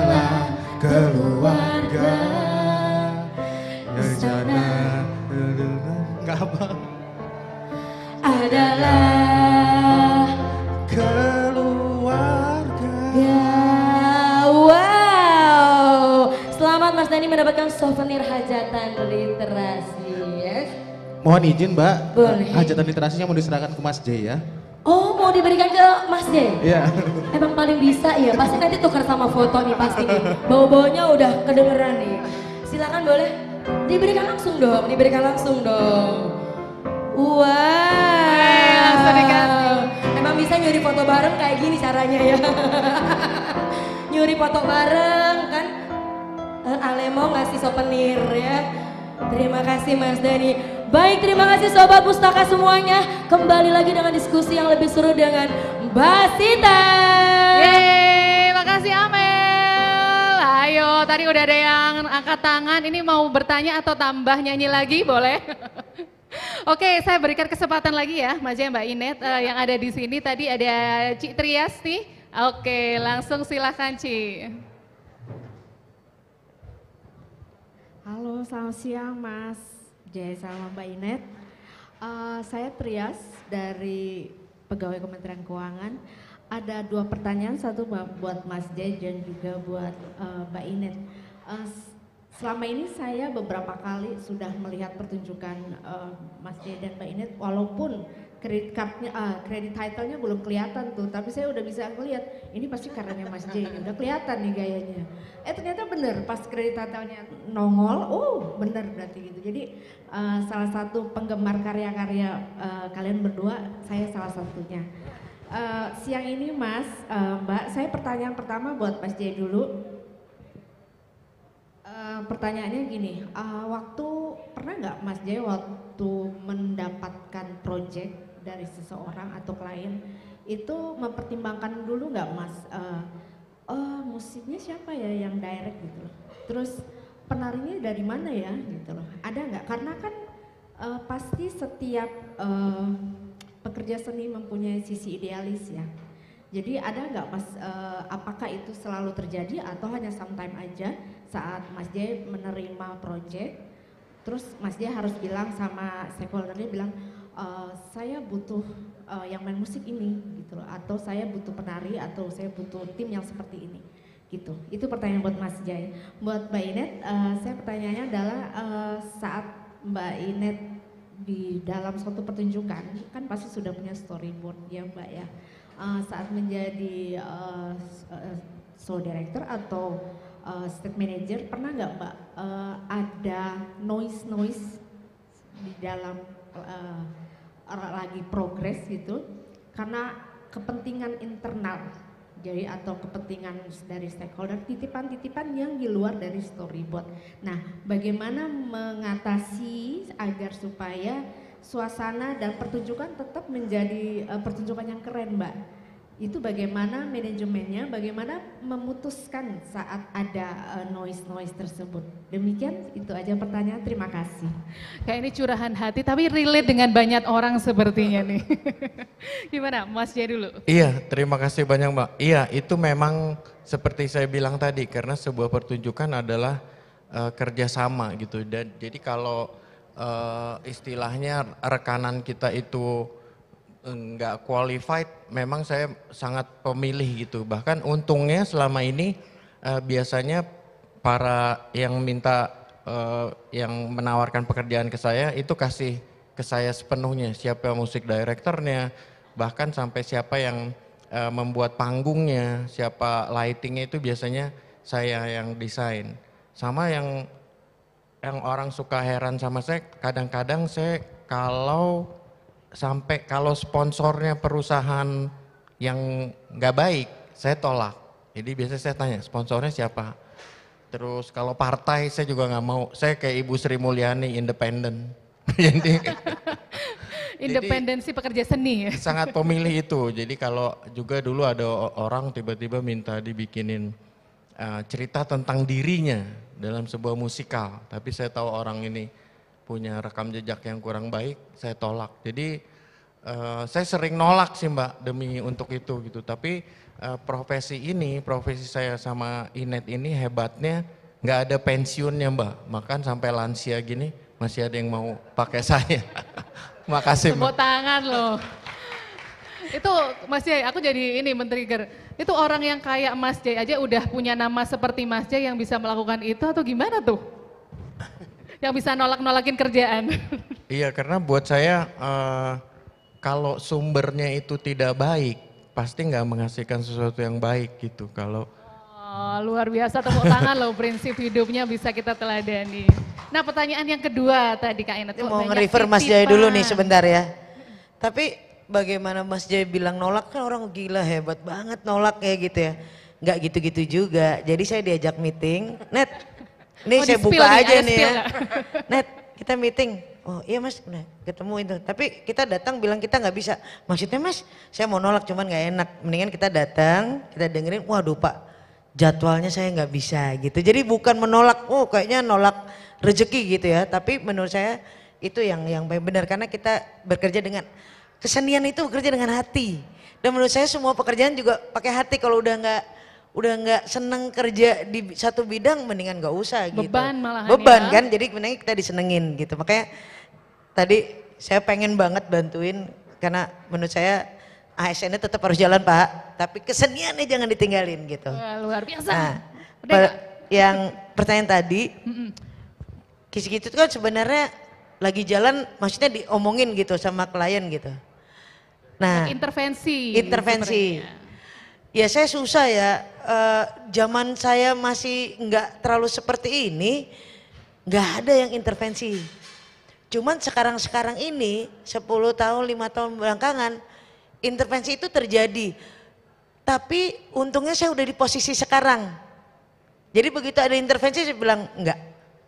Gitu. Karena menurut saya intervensi itu membahayakan sebuah pertunjukan. Bukannya kita nggak mau dengerin. Jadi kenapa saya kalau jadi show director bekerja sampai GR?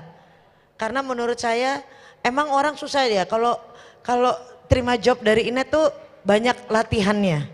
Saya bilang itu yang kita lakukan. Kalau nggak ada latihan kita nggak akan bisa yang terbaik. Nah kita harus membuat bagaimana caranya klien tahu bahwa ini nggak bisa diintervensi nih. Tadi aja saya mengintervensi Mbak siapa tadi? Ah, ah. Hah? Mbak Langen. Tadi saya mengintervensi. Tapi saya mengintervensinya sesuatu yang tidak saya keluarkan.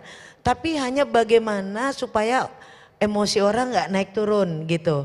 Itu intervensi seperti itu nggak apa-apa. Tapi intervensi bahwa ya masukin aja deh sekarang itu itu nggak itu jangan terjadi.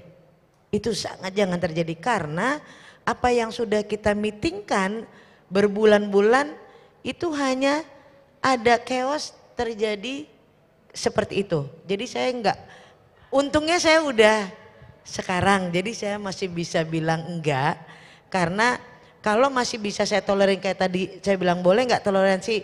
Jadi jangan Mas Jai dulu terus baru saya tuh seolah-olah jadinya orang lagi mau happy nggak jadi. Nah itu it- itu nggak masalah. Jadi saya sebagai state manager 30 second harus bisa terjadi intervensi seperti itu. Yang kedua saya pernah memberhentikan show saya pernah memberhentikan show waktu itu karena eh, smoke-nya eh, bocor, jadi banyak performs yang jatuh. Itu saya berhentikan show-nya. Saya bilang mohon maaf kita ada eh, masalah teknis, kita an- akan lanjutkan 10 menit. Jadi kita bersihin dulu. Dan itu sebenarnya nggak apa-apa karena itu membahayakan performance. Jadi jangan dipikir saya nggak pernah berhentiin show, saya pernah berhentiin show dua kali karena masalah teknikal gitu. Jadi sebenarnya nggak masalah.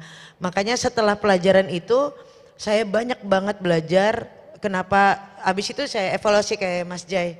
Kita evaluasi kenapa tadi bisa gitu. Oh karena eh, liquid. Nah sekarang smoke itu nggak pakai liquid lagi.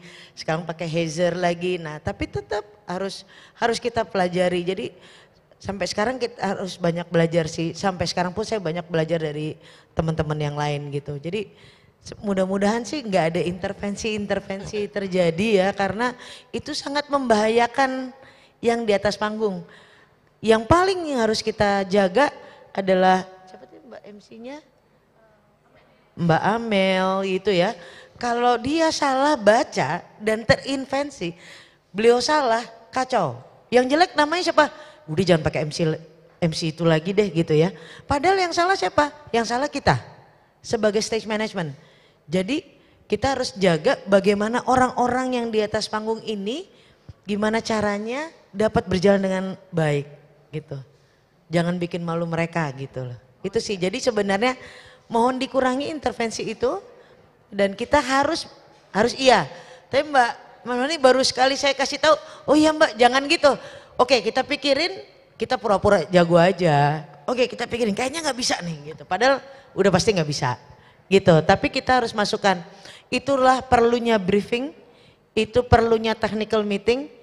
Saya banyak sekali meeting kok, ada technical meeting, ada briefing kreatif, itu sering saya jalanin. Karena untuk saya supaya nggak ada intervensi itu, gitu. Itu aja sih. Berarti komunikasi pra acara itu sangat penting ya Banget. khususnya untuk kepada project owner Ya, dan sponsors yang penting. semua orang mau kayak saya sama Mas Jack. Kok kalau JR ketawa-ketawa aja? Ya iya karena dia nggak tahu sebulan sebelumnya saya udah berantem sama Mas Jai. Nggak bisa Mas Jai, ah lu takut lu gini. Saya pernah dicemooh kan sama Mas Jai gitu. Ah kamu takut gini-gini. Nggak Mas Jai, tapi saya coba dulu. Nah kan orang nggak lihat. Tapi begitu kita berantem di secara kreatif, udah Mas Jai tuh nggak pernah interfere saya. Selama JR Mas Jai nggak pernah interfere saya. Jadi dia, Mas Jai ini yang benar ya, ini gini ya. Tapi saya confirm, ke Mas Jai.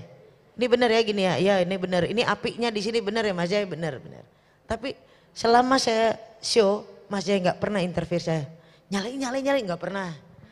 Saya tinggal nanti show-nya. Itu aja sih maksudnya mudah-mudahan eh, eh, nggak terjadi. Semoga aja. tidak terjadi. Tapi benar mbak, saya saya juga pernah misalnya ada sebuah eh, perusahaan lah bikin pertunjukan untuk umum, tiba-tiba dia bilang istri saya mau nyanyi atau anak saya mau nyanyi. Itu saya kayaknya bilang sering terjadi iya juga ya. itu biasanya karena anak buahnya yang bilang ayo bu, nah saya bilang bu ini kan untuk umum.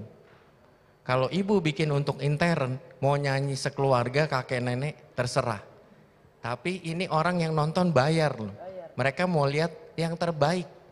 Bukan yang hobi-hobi nyanyi. Karena itu akan merusakkan kita sendiri. Begitu juga waktu kita mau bikin mata atik. Zaman itu banyak sekali pejabat-pejabat yang main wayang orang. Lagi pengen ikut Heeh, juga tapi maaf sekali itu. sangat nggak baik. Jadi waktu itu saya bilang maaf mbak, ini kan mbak nggak nari kan? Karena kalau kita mau jadi memajukan kesenian Indonesia, yuk kita justru menampilkan seniman-seniman kita yang udah berlatih puluhan tahun. Dan jangan digabung sama orang-orang pejabat yang hanya hobi-hobi aja. Akhirnya jadi lawak ya. Jadi itu saya selalu, itu banyak sekali intervensi kayak gitu sering kok mbak. Tapi bagaimana cara kita menjawabnya eh, supaya ini kebaikan karena untuk umum. Kalau untuk intern terserah saya bilang. Tapi begitu orang bayar kasihlah yang terbaik. Tampilkanlah seniman-seniman Indonesia yang memang berdedikasi lama. Makasih. Mbak. Setuju, setuju banget Mas Jai. Nah ini kita ada pertanyaan dari online nggak? Kalau nggak ada mungkin sambil menunggu kita dari yang onsite terlebih dahulu silahkan. Nah ada mbak yang di belakang tuh.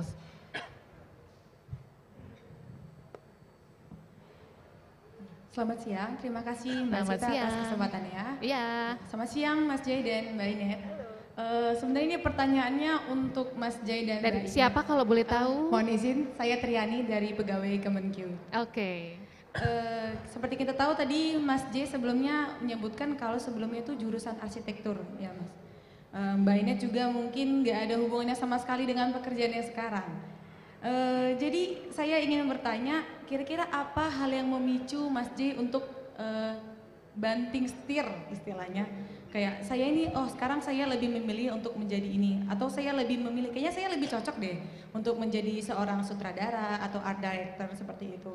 Eh, apalagi seperti kita generasi muda di tengah eh, banyak hal seperti sekarang kayak banyak hal banget yang hal baru yang bisa kita kita coba di zaman sekarang itu terlalu banyak hal baru dan mungkin memicu kita generasi muda untuk mencoba hal baru tapi kita takut kita takut keluar dari zona nyaman atau bahkan insecurities kita sendiri yang mem- membuat kita untuk mundur untuk melakukan loncatan baru tersebut. Menurut Mas J dengan Mbak Inet, kira-kira dari pengalaman Mas J dan Mbak Inet sendiri yang banding setir tadi, kira-kira apa yang bisa kita jadikan inspirasi buat kita generasi muda? Terima kasih. Iya, makasih. Eh, jadi waktu sekolah dulu saya sebenarnya diancam sama orang tua saya. Jadi dibilang anak laki harus masuk IPA, ya nggak boleh IPS. Kemudian ayah saya bilang eh, jangan masuk eh, swasta karena mahal. Jadi saya harus ikut dulu proyek perintis. Proyek perintis ikut, untung masuk saya pilih arsitektur. Karena saya suka gambar, saya suka seni, saya pikir wah ini cocok nih. Waktu saya sekolah, wah itu berantem lulu sama dosen. Ya, jadi eh, dianggap karya-karya saya nggak nggak bener lah. Tapi setelah saya pelajari arsitektur, itu saya tahu mbak bahwa arsitektur itu adalah eh, ibu dari semua ilmu. Karena di situ saya belajar matematik, saya belajar sejarah, belajar antropologi, belajar fisika. Jadi semua hayalan saya, saya tahu cara bikinnya. Banyak seniman yang menghayal, tapi teknisnya nggak tahu gimana panggungnya. Jadi saya nggak ngerepotin technical director saya, saya nggak ngerepotin Inet, semua udah saya pikirin. Jadi ini adalah ilmu yang sangat lengkap kalau saya bilang arsitektur. Ketika kita menghayal, kita tahu mau bikin apa. Nah waktu saya lulus, ternyata arsitek di Indonesia kalau baru lulus S1 gajinya cuma 250 ribu mbak. Itu tahun 86. Wah jadi saya pikir udahlah saya cari yang dari dulu saya senang. Dari dulu saya senang dengan dunia audiovisual. Tapi dulu mau masuk sinematografi dilarang sama orang tua saya. Akhirnya saya bilang, saya, begitu saya lulus saya kasih ijazahnya ke orang tua saya, saya bilang sekarang saya mau mengerjakan apa yang saya suka dan saya nggak akan minta uang lagi. Nah akhirnya saya kerja di uh, TV swasta pertama. Nah di situ akhirnya saya banyak belajar dan banyak sekali ilmu dari arsitektur yang bisa saya uh, terapkan di dunia pertunjukan seperti bagaimana memanipulasi uh, lampu, bagaimana menipu perspektif panggung sehingga orang bisa uh, ngerasakan oh ini ada kedalaman, oh ini uh, kelihatan luas gitu. Jadi uh, ilmu itu sih yang akhirnya saya pas yang saya gunakan dan ternyata uh, arsitektur itu saya bisa ke mana-mana. Akhirnya saya pernah berprofesi sebagai fotografer, bisa sebagai sutradara iklan, bisa film, bisa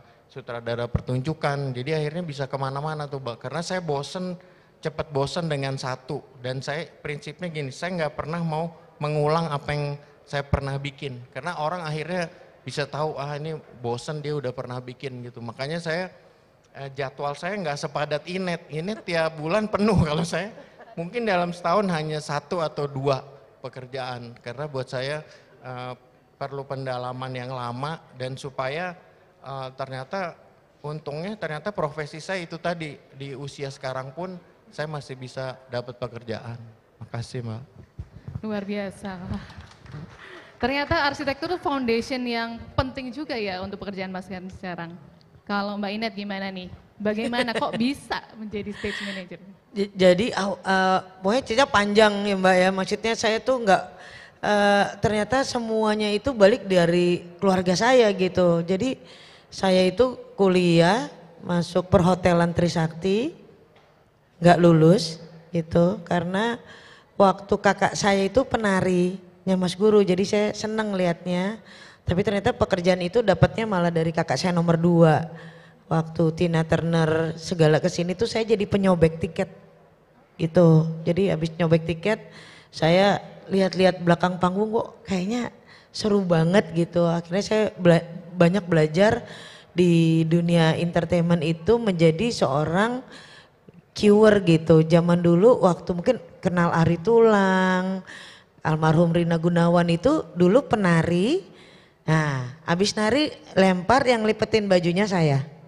Gitu. Tapi dari situ saya jadi banyak belajar bahwa oh dari jadi cuman seorang runner makanya saya, saya bilang sama teman-teman saya kalau jadi runner itu adalah juga penunjang show-nya berjalan. Kalau saya zaman dulu nggak jadi runner, nggak akan saya anggap. Tapi saya belajarnya dari runner.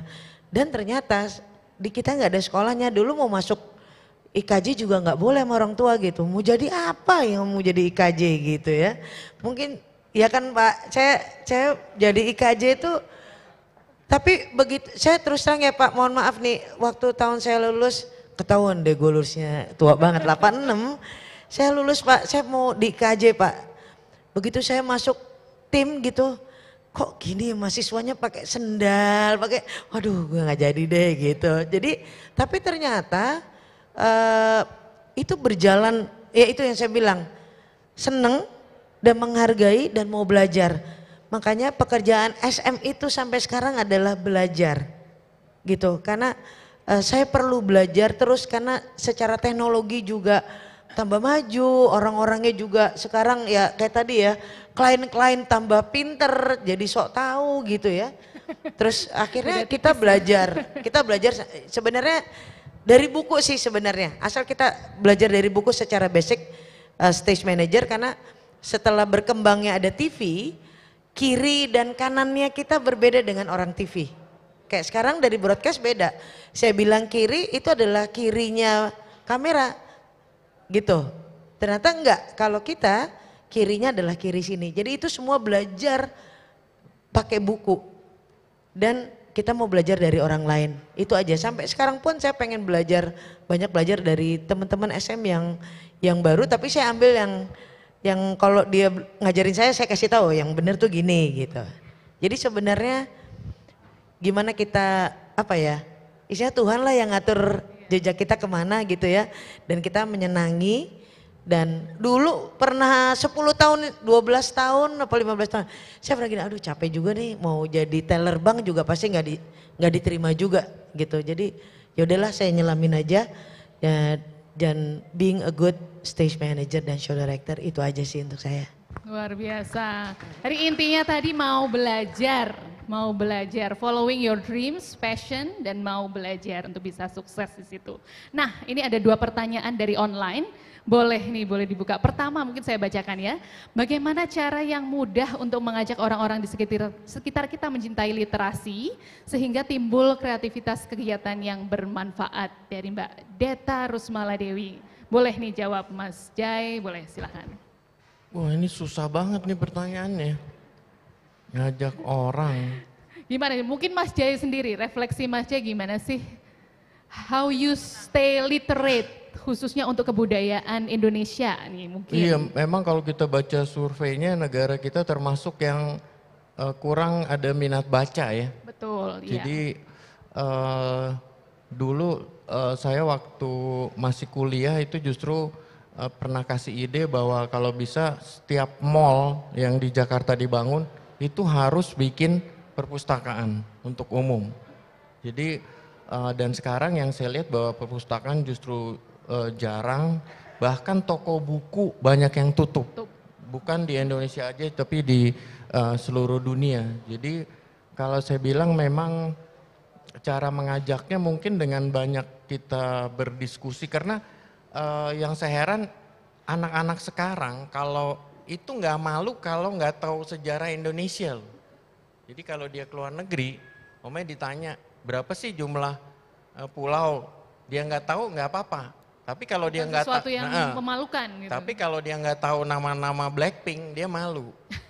Jadi saya kira mungkin uh, harus dari orang tua. karena Pembelajaran ka- keluarga ya. Kalau saya pasti dari orang tua karena buat orang tua saya pernah bilang yang nggak pernah harus kamu berhenti beli itu adalah buku karena itu akan uh, terus gitu. Bahkan waktu saya kuliah pun juga ketika saya lulus ternyata teman-teman saya yang dulu kuliah itu nggak pernah beli buku lagi kecuali waktu itu disuruh oleh dosennya. Jadi uh, sayang sekali banyak yang akhirnya ada istilah dia pinter di sekolah. Begitu dia di masyarakat dia uh, nol gitu karena itu tadi makanya literasi itu seperti bahasa Latinnya literatus itu artinya sebenarnya belajar. belajar gitu ya.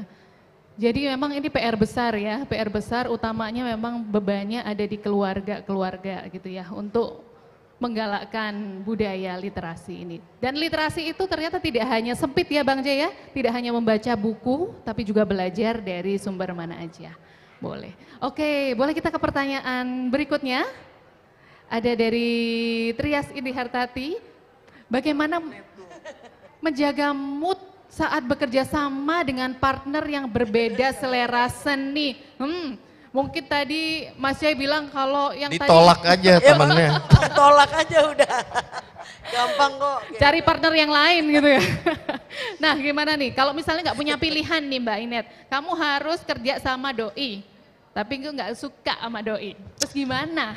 Gini, eh eh, sebenarnya jaga mood tuh bukan bukan harus sama yang berbeda partnernya. Gitu. Jaga mood tuh sama Mas Jai aja saya harus jaga moodnya Mas Jai. Oh, agak bisa ngeselin juga ya? Iya dong gitu. Jadi sebenarnya bukan sama partner yang berbeda selera seni. Saya pernah juga nggak sama Mas Jai, saya pernah sama beberapa orang eh, apa art director gitu ya.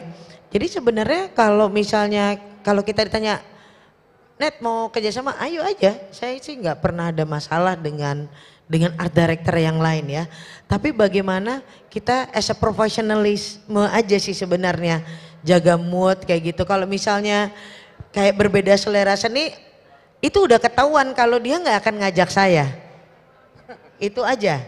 Itu perbedaan bukannya Haluannya ditolak. beda lah ya. Haluannya beda. Dia akan dia akan seprofesi Mas Jai kayak tadi orang udah tahu makanya oh Mas Jai Kesnya jangan ngajak Mas Jai, Mas Jai tolong desainin K-pop dong, panggung udah nggak mungkin minta Mas Jai. Gitu ya. Jadi kalau ke saya pun sebenarnya lebih mudah karena saya lebih genrenya lebih banyak dibandingin Mas Jai gitu ya. Saya Tapi orang juga kalau selera seninya berbeda, mungkin ngapain gue ngajak Inet gitu. Jadi sebenarnya mungkin, tapi saya nggak pernah menolak untuk bekerja dengan eh, seniman-seniman yang lain. Karena untuk saya, mungkin saya masih bisa belajar dengan seniman. Kalau saya sama Mas Jaya udah banyak belajar. Mungkin sama orang lain, saya banyak belajar juga. Jadi sebenarnya mood itu harus terjaga sama siapa pun juga. Jadi eh, bukan karena selera seni apa dan segala macam kita nggak boleh sebagai SM punya oh gue sama dia aja deh punya Oh, nggak- nggak boleh gitu, nggak boleh boleh. jadi kita Nggak harus boleh diskriminatif. nggak boleh diskriminatif jadi tetap kita harus jalanin dan moodnya harus selalu baik itu Oh, aja iya. dari aku Mungkin tadi tips yang sudah di-spill di awal, sediakan cooler box isinya es ya. Kalau sebel tendangin sampai rusak, baru kembali happy gitu. Tapi sebenarnya beda. Kalau Inet kan dia pelaksananya. Yes. Sebenarnya semua ide kreativitas dari siapa pun dia bisa melaksanakannya. Tapi kalau saya benar yang Mbak itu bilang begitu eh, musik direkturnya seleranya nggak sama, nah mendingan saya tolak. Karena saya harus seneng dan banyak ide saya makanya kalau saya bikin pertunjukan itu saya rajin latihan lihat dengar musiknya. Karena idenya itu keluar ketika saya dengar musiknya. Ketika saya dengar musik saya punya visualisasi oh ini bagusnya lightingnya gini oh video mappingnya gini oh blockingnya gini. Jadi saya harus seneng sama lagunya bayangin kalau seleranya nggak sama kan kita nggak seneng dengar lagunya. Jadi memang kalau kalau di saya itu sangat penting. Tapi iya, kalau Inet kan kadang-kadang dia jadi state ada kalanya Inet juga jadi kayak saya jadi sutradara keseluruhannya. Nah mungkin itu dia akan uh, berbeda. Ya, ya. Berarti em, orang yang punya pemikiran atau minat yang sama itu di idea creation itu penting ya berarti ya. Tapi kalau di delivery yang menentukan adalah profesionalisme. Jadi bukan selera seninya. Oke, mungkin pertanyaan tadi itu menutup perjumpaan kita siang si- siang sampai sore hari ini. Ini it's been a pleasure untuk bisa ketemu dengan Masjid dan juga Mbak Inet yang namanya selama ini selalu saya lihat di layar kaca and now you are here just before my eyes. gitu ya. Nah sebelum kita berpisah mungkin saya pengen dengar nih Mas Jai closing statement tadi mungkin mengenai pentingnya literasi dalam uh, dunia kreatif. Iya, eh, sebelumnya terima kasih sekali lagi untuk Kementerian Keuangan, eh, teman-teman di sini. Terima kasih menghadirkan saya pada hari ini eh, dengan Mbak Inet. Terima kasih juga untuk eh, Ibu Menteri, Ibu eh, Sri Mulyani. Terima kasih. Mudah-mudahan nanti kita bisa kerjasama karena dan mudah-mudahan bisa terus jadi Menteri Keuangan Indonesia karena negara ini bisa beres kalau Ibu Sri yang jadi Menteri Keuangannya. Kemudian terima kasih buat Mbak Amel, terima kasih buat Mbak Santi yang udah jadi moderator pada hari ini. Tips saya mungkin eh, eh, jangan pernah lelah eh, memajukan kebudayaan dan kesenian Indonesia karena jati diri bangsa itu penting dan ajarkan kepada generasi penerus bahwa kebudayaan kita dan kesenian kita lah yang terbaik yang ada di dunia ini. Terima kasih. Luar biasa, boleh tepuk tangan. Spiritnya perlu kita contoh. Mbak Inet, saya juga pengen dengar nih dari Mbak Inet nih. Apa kira-kira pesannya untuk generasi muda dan mungkin juga generasi yang kurang muda di Kementerian Keuangan tentang literasi? Ya, saya sih pendek aja. eh, selalu harus bisa menilai semuanya dengan selalu positif. Karena eh, saya kalau begitu pikirannya negatif, karena kebiasaan takutnya terjadi. Jadi selalu positif dan selalu bahagia menjalankan semua pekerjaan dan menjaga mood semua orang itu penting. Nah itu yang penting positif aja. Positive thinking, pesan yang strong ya.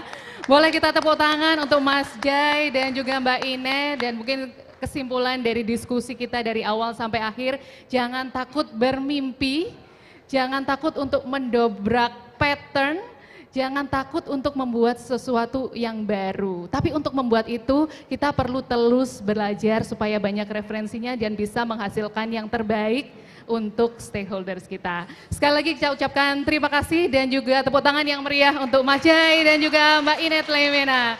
Sukses dan sehat selalu. Dan kembali ke Amel, thank you. Terima kasih Mbak Sita, Mas J dan Mbak Inet. Mohon izin Mas J, Mbak Sita dan Mbak berkenan untuk dapat berfoto bersama di depan panggung sebelah sini.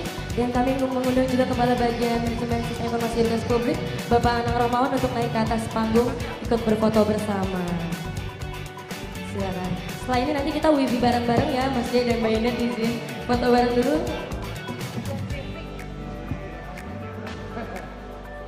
Silakan, boleh di depan, depan panggung. Baik.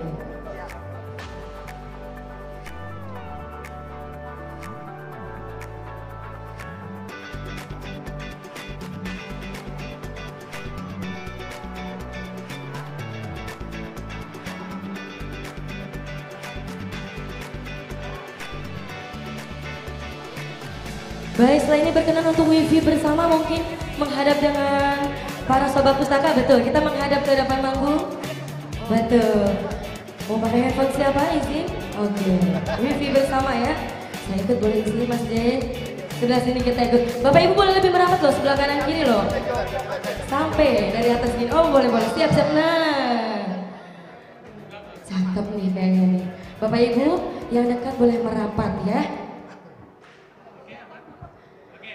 Baik. Dua.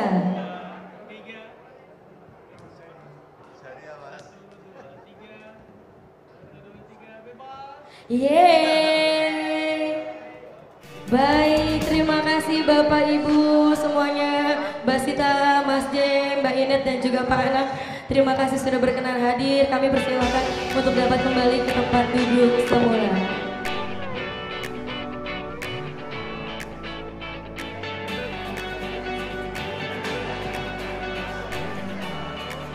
Baik, Sobat Pustaka semuanya, halo. Wah, boleh dong berikan tepuk tangan yang meriah di sesi siang hari ini. Luar biasa sekali. Jangan ke mana-mana karena saya akan umumkan hal yang sangat penting ya. Dan juga akan bagi-bagi hadiah tentunya ya. Pertama kami juga mem- memohon kesediaan Sobat Pustaka untuk dapat mengisi link survei yang dapat diakses pada link slash Kemenkulit yang tertera di layar ya. Survei ini sangat kami perlukan untuk perbaikan kami acara selanjutnya. Dan tidak hanya itu, survei ini juga bisa menjadi data untuk e-sertifikat dipastikan nama dan alamat emailnya juga ditulis dengan benar tentunya. Dan ini yang tidak kalah penting nih, Sobat Pustaka yang hadir di lobi Gedung Juanda 2 Kementerian Keuangan akan mendapatkan buku secara gratis. Wow, buku ini bisa didapatkan Sobat Pustaka dengan mengunjungi pojok Siku Sikeu setelah acara nanti tentunya ya. Jadi nanti silakan Sobat Pustaka bisa langsung berkunjung ke pojok Siku Sikeu gitu ya. Baik, tak lupa juga saya mengucapkan terima kasih nih kepada narasumber dan moderator yang sudah hadir pada hari ini dan Sobat Pustaka yang hadir di lobi Gedung Juanda 2 Kementerian Keuangan dan yang menyaksikan melalui Zoom meeting serta channel YouTube Kementerian Keuangan. Untuk menutup acara hari ini boleh pantun sedikit boleh? Kasih cakepnya dan senyum yang manis ya. Ke Melbourne esok hari. Eh ternyata cuma mimpi. Amel MC pamit undur diri. Sampai jumpa esok hari. Wassalamualaikum warahmatullahi wabarakatuh.